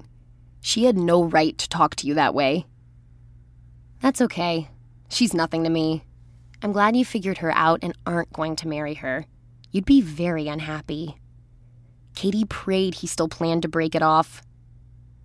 I dodged a bullet with her, that's for sure. When are you going to do it? Break up? As soon as possible. Not at my place with my family. I need to go to her place where her parents will be there to pick up the pieces. She tends to be high drama. Gee, I didn't notice. They picked up the dishes and empty bottles. I feel terrible about leaving behind a mess. I wish we could do something about the broken window and all the stuff we ate. Don't worry. My dad will call it into the cops, and we'll figure out whose place it is and let them know. Dad will probably be over here tomorrow installing a new window. What about your truck? I forgot all about it. I hope it's okay. If it's still there, I'll have it towed out. Hopefully, it didn't suffer too much damage. This has been quite the Christmas, and to think how mad I was about having to come up north. If I hadn't, I never would have met you. I'm glad you did. They gathered up their bags, her candle tucked safely in her backpack. It was Katie's only proof of her time with Alex. He hadn't said anything about seeing her again. She heaved her pack over her shoulder and pasted a smile on her face. Well, I think that's it. Yeah, I guess we've got everything. His eyes turned thoughtful. You know, maybe after a loud blast of the truck horn sounded. Her heart dropped. She wanted him to finish his sentence, but he didn't. I guess Jason is ready. No, that was Trina. Ah. I guess we better go. She grabbed her remaining bag. At the door, Alex paused with his hand on the knob. He seemed about to speak, but another blast from the truck sounded. He opened the door. Katie passed inches from him, more aware of him than ever before. His scent, the angle of his jaw, and his mussed hair. She crossed the threshold, then glanced back one final time. When she thought of Christmas, she'd always remember their time here. Katie turned and entered the chill reality of a new day. Chapter 14 Alex smiled in satisfaction as Katie's mom hugged her tight. She'd run outside without a coat the moment Jason pulled up in his truck. Thank God you're safe, she said. Katie didn't pull away. Alex was glad to see them together and happy. Her younger sister hugged Katie from the side, while not the boyfriend stood by looking pleased. It's okay, Mom. I'm here. Katie patted her mother's back. Her mom stood back and held Katie's face. You have no idea how terrified I was. Seriously, I swear I'm never letting you out of my sight again. She pulled Katie into another bear hug. Alex waited silently, his brother at his side, while Trina sulked in the truck. Thank God she didn't get out to meet everyone. After her obnoxious behavior during the ride over, he wanted to throttle her. During the trip to drop Katie off, Trina insisted on sitting on his lap in the crowded truck cab. She kept glaring at Katie, he couldn't get her off his lap fast enough. Katie's mom finally released her. Katie turned, and with a sweet smile Alex liked to think Katie reserved only for him, said, Mom, this is Alex Walker. If he hadn't found that cabin, I don't know what would have happened. And this is his brother, Jason. Thank you so much for taking care of Katie. Is it okay if I hug you? I'm a hugger, and I'm thankful to have her back. Sure. Alex smiled and received her embrace.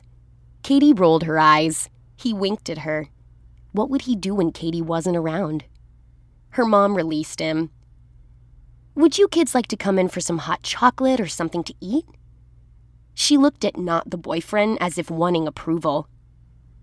Absolutely. We'd like to hear all about your adventure, Bill said. Thank you, but my parents are waiting and we need to get back, Alex said, wishing he had more time with Katie.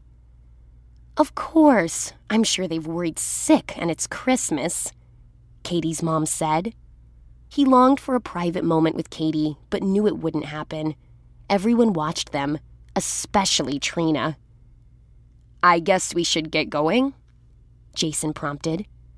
Alex wanted to tell Katie how the last two days had been the time of his life and that he would never forget their Christmas Eve, but he couldn't put any of it into words.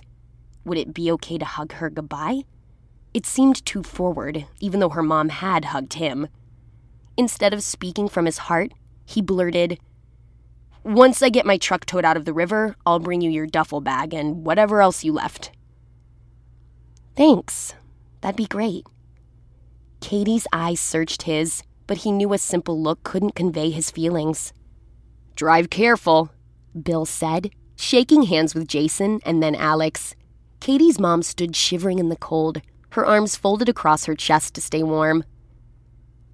I guess we'll be going then. He nodded to Katie. Her eyes looked troubled. What did she want to say to him? Was she glad to be rid of him? Probably, especially after Trina's behavior. He climbed into the truck. Jason backed out of the narrow driveway.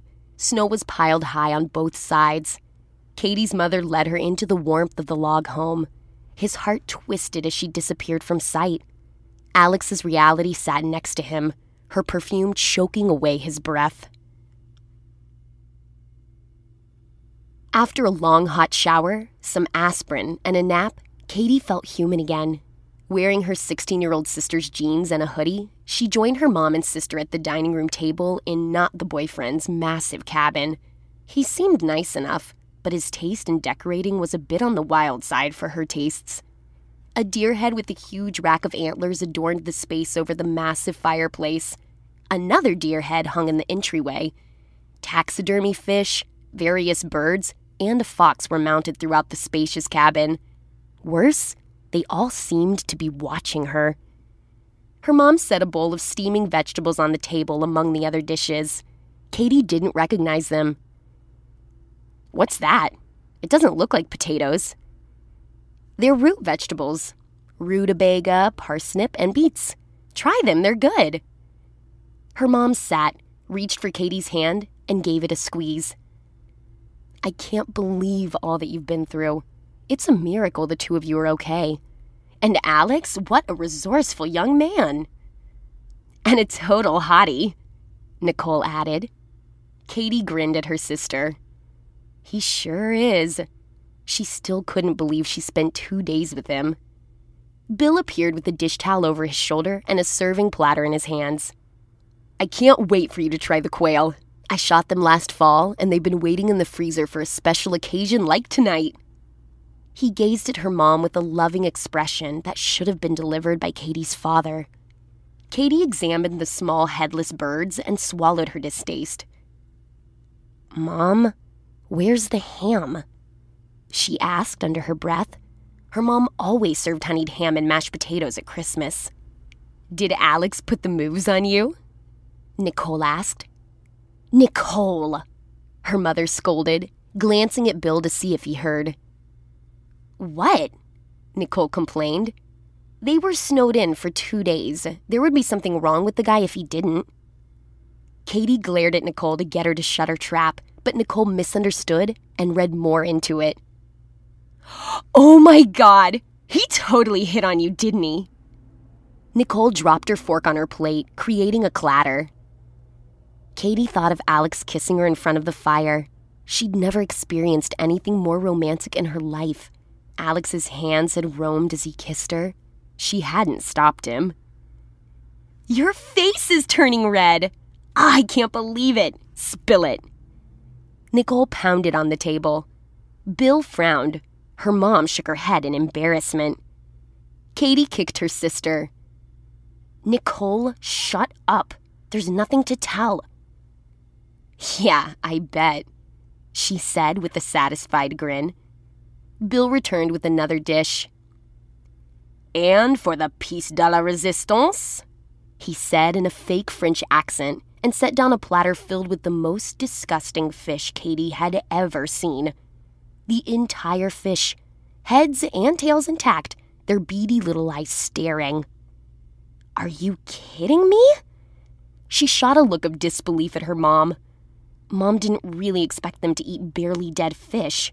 They weren't cavemen. She liked her fish boneless, breaded, and baked. Her mother, wearing way too much makeup, nodded with a forced smile. Isn't it wonderful how hard Bill worked to give us this woodsy Christmas dinner? It's nothing. I love to cook, and it's called a wild dinner, not woodsy.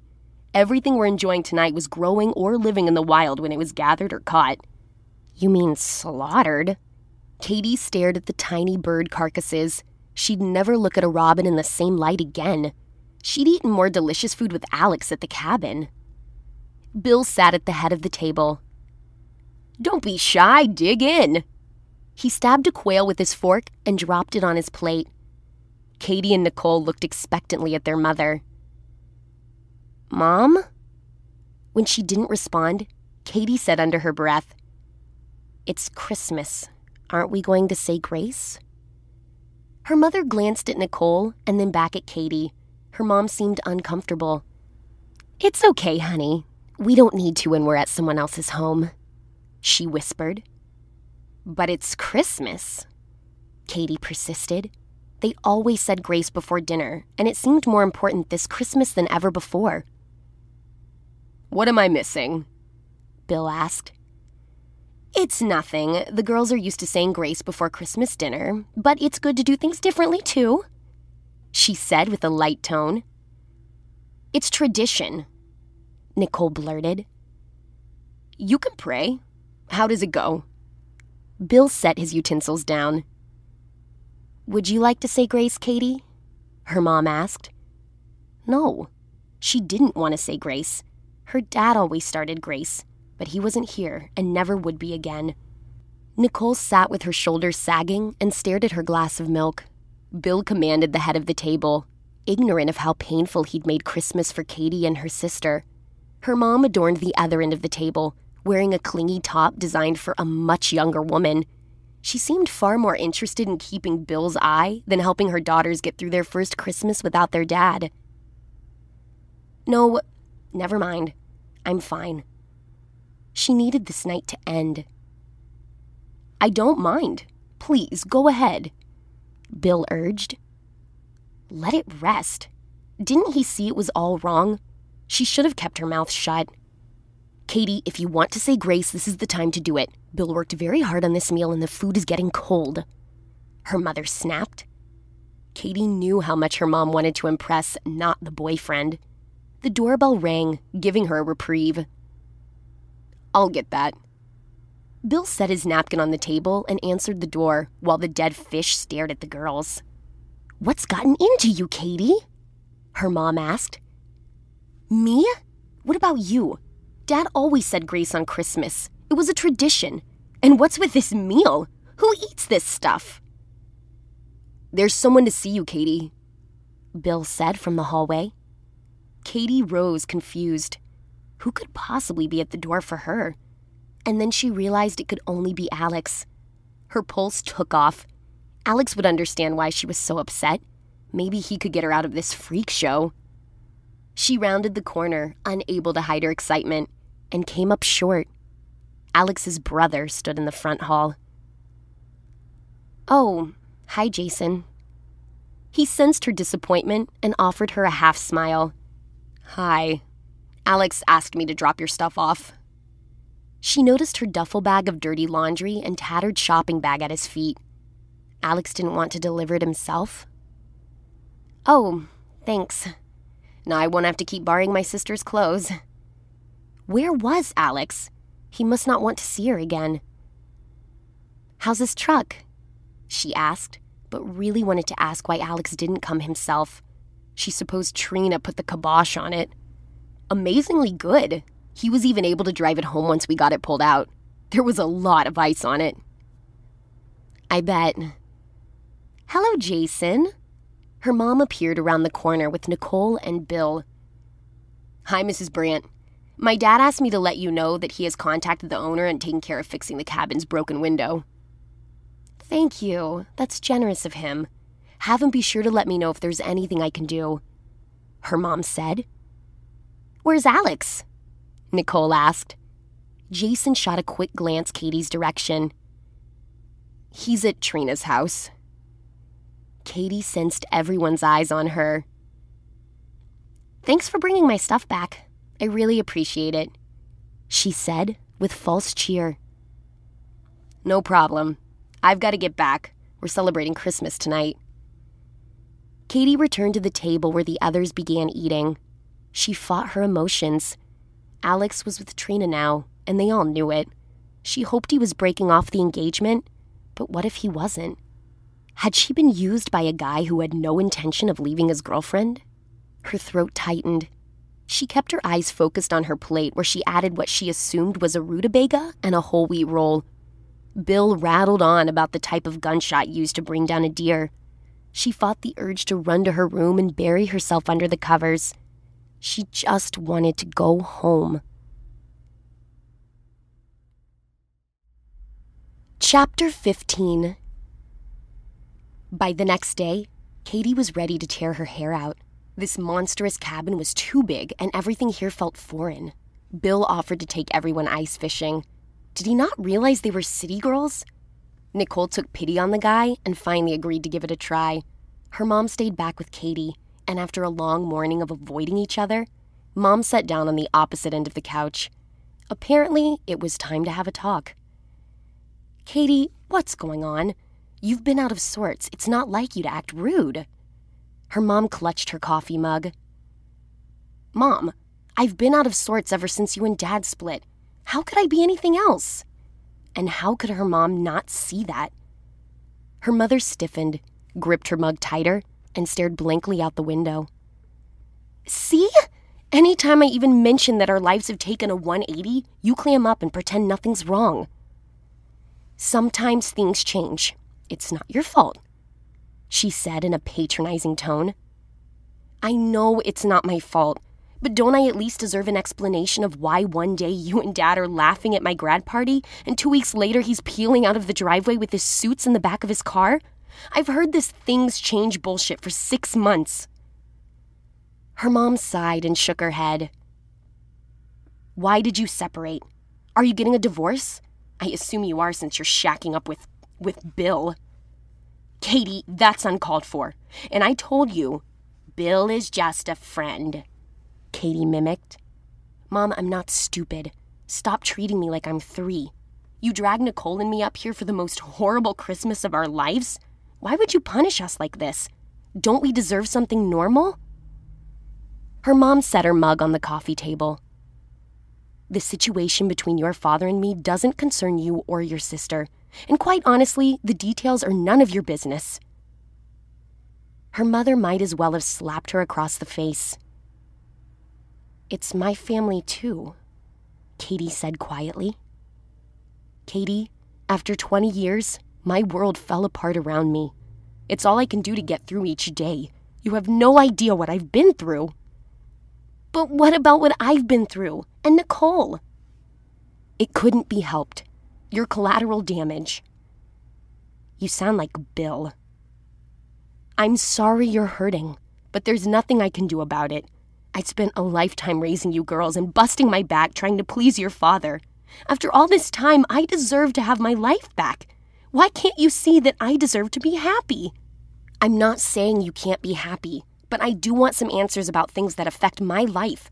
One minute you're with dad and the next you're with Bill and insisting he's not your boyfriend. Come on, I have eyes. Look at how you're dressed. Her mother wore skin tight, low rise designer jeans and a cleavage exposing tight top. Her mother bristled. What I do is none of your business. I am a grown woman and I don't have to explain my actions.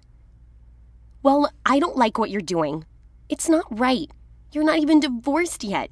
You're sleeping with a guy and you're still married. Separated. There's a huge difference. And the divorce will be final next month. Katie's jaw dropped. And when were you going to tell me? Or were you? Don't my feelings count for anything? She fought the tears that welled. You don't understand, Katie. This is not about you. This is about your father and me. We're both happier this way. I'm glad someone is, because I'm sure not. How much longer do I have to stay here? Until the day after tomorrow. Her mother stood and picked up her mug. I see it was a mistake to bring you here. You're clearly not ready. She walked away. Katie called after her. You think? Oh my God. How could her mom possibly think Katie was ready to share in her new world? She hadn't come to terms with saying goodbye to the old world yet. The front door opened. Bill and Nicole entered. Look what we caught, Nicole pointed to the string of fish Bill held. Lunch, Bill bragged. Nicole smiled, clearly accepting this new change better than Katie. That's great. Katie grabbed her coat from the closet and phone from the entry table. Where are you going? Her mother asked in an irritated tone. For some air. I can't breathe in here. Katie slipped into her coat and out of the cabin. The cool, crisp air was a nice switch from the stifled, conflicted air inside. The scent of the woods reminded her of the cabin she'd shared with Alex. Was that only yesterday? She missed it, and him. Kind of like the year she went to summer camp and had to say goodbye to her new best friend, Jessica. It took her a long time to stop missing her. And now, Katie couldn't imagine ever getting over her feelings of those two days snowed over with the sweetest guy she'd ever met. She wandered the long driveway to the main road. Her phone rang, disturbing the pristine silence. She pulled it from her pocket, half expecting the caller to be her mom scolding her or telling her to come back. Instead, it was Alex. Her heart swelled. Hello. Hi. How was your Christmas? His voice sounded like smooth velvet. Sucks. You? She said. Ditto. What are you doing? She glanced at the bend in the driveway. Right now? Running away. Alex laughed. Really? No, but I would if I could. God, she loved hearing his voice. Listen, I'm heading back to Madison in the morning to escape the landslide of disaster I've created. Any chance you want to ride? She stopped in her tracks. Please tell me you're not teasing, because if you are, I'm going to take you down. I would never do that, he said. I swear, if you're kidding, I'll drive your truck into the river. Too late. It's already been done. I'll pick you up at nine.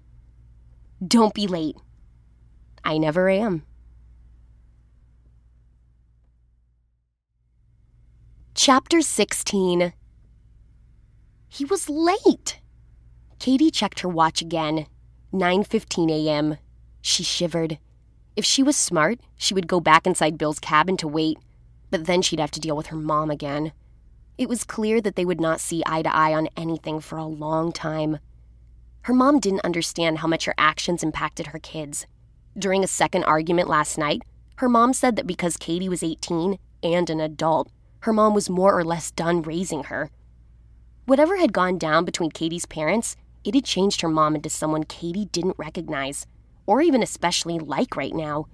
At least her mom's attitude made it easier for Katie to leave. In fact, her mom seemed relieved that she wouldn't have to deal with Katie for another two days. The cool air penetrated her coat. At least this time she wore her boots and not athletic shoes. She peered down the road and saw a vehicle come into view. A second later, she recognized Alex's blue pickup. Her heart rate took off. The truck slowed and stopped next to her. She opened the door. Hey, Katie. He smiled, and she fell in love with his face all over again. Hi. She grinned back. Was there any chance that he was as happy to see her as she was to see him? Alex hopped out and walked around the truck. Here, let me help you. He took her large duffel and tossed it in the back. He reached for her backpack, but she pulled it away. Thanks, but I'll keep it with me. My laptop is in there. Okay. He reached for the shopping bag. I'll keep these up front too. They're presents from my mom and sister. I wouldn't want anything to happen to them. She watched him, hoping for some sign that he was glad to see her. Alex raised an eyebrow. Suit yourself. He paused and stared at her. She wished she could read his thoughts. He reached into his coat pocket and pulled out her red scarf. She'd forgotten all about it. With gentle hands, Alex wrapped the scarf around her neck and tucked it in. She smiled. The scarf smelled like Alex. His fingers grazed her cheek.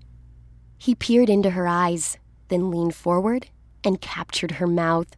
The familiar touch of his lips on hers sent warm shivers through her. He kissed her long and slow, she savored his sweetness. His lips pulled away. Katie sighed.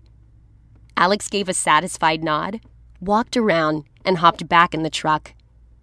Katie glowed all over. Wasting no time, she maneuvered her remaining bags into the cab and climbed in. It was a tight fit. She squeezed her bags to the floor and noticed the cup holder. There were two cups of steaming coffee side by side. New Year's Eve. Come on, give me a hint. Where are we going? Katie begged Alex to tell. He grinned. You'll know soon enough. They walked hand in hand, their fingers threaded together. He and Katie had hung out a couple times since returning to Madison a few days ago, but this was their first official date, and he planned to make it a date she'd never forget. Ever since Alex had broken it off with Trina on Christmas Day, he'd never felt happier. Sitting at Trina's kitchen table with both her parents, he had pointed out Trina's lies about the pregnancy and the fact that they were different people now than they were in high school. Trina took it better than he thought. She didn't have a tantrum or call him names. Her dad didn't hit him, but her mother did cry. Trina managed to get a jab in when she handed back the ring. She said she'd always wanted a bigger diamond anyway. He heard that the next day she was out with another guy. Alex squeezed Katie's hand as they turned the corner. They joined a huge stream of people walking toward the Kohl Center, the university's athletic complex where all the big events took place. Are we going to a hockey game? She asked. Alex laughed. No, this will be much better than a hockey game. I thought we should start a new tradition of our own. Like getting snowed in at a cabin every Christmas? Yeah, something like that. They crossed the street with a crowd of others. Katie spotted tour buses up ahead. Is that what I think? Oh, Alex! She pulled him along until she could get a closer view. A row of tour buses and semi trailers lined the street. The Trans Siberian Orchestra logo was painted across them.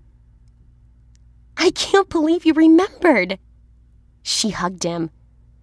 How could I forget? You went on and on about them. I didn't even realize they were in town. I guess with my parents' separation, I never paid attention to when the band was coming. I knew I wasn't going to see them. Well, you are now. He lowered his forehead to hers. Having you climb into my truck is the best thing that ever happened to me. Katie grinned.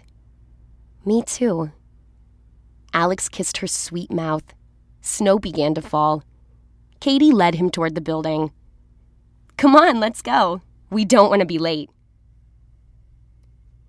The end. This has been Snowed Over, written by Angie Stanton, narrated by Amber Wallace. Copyright 2012 by Angie Stanton.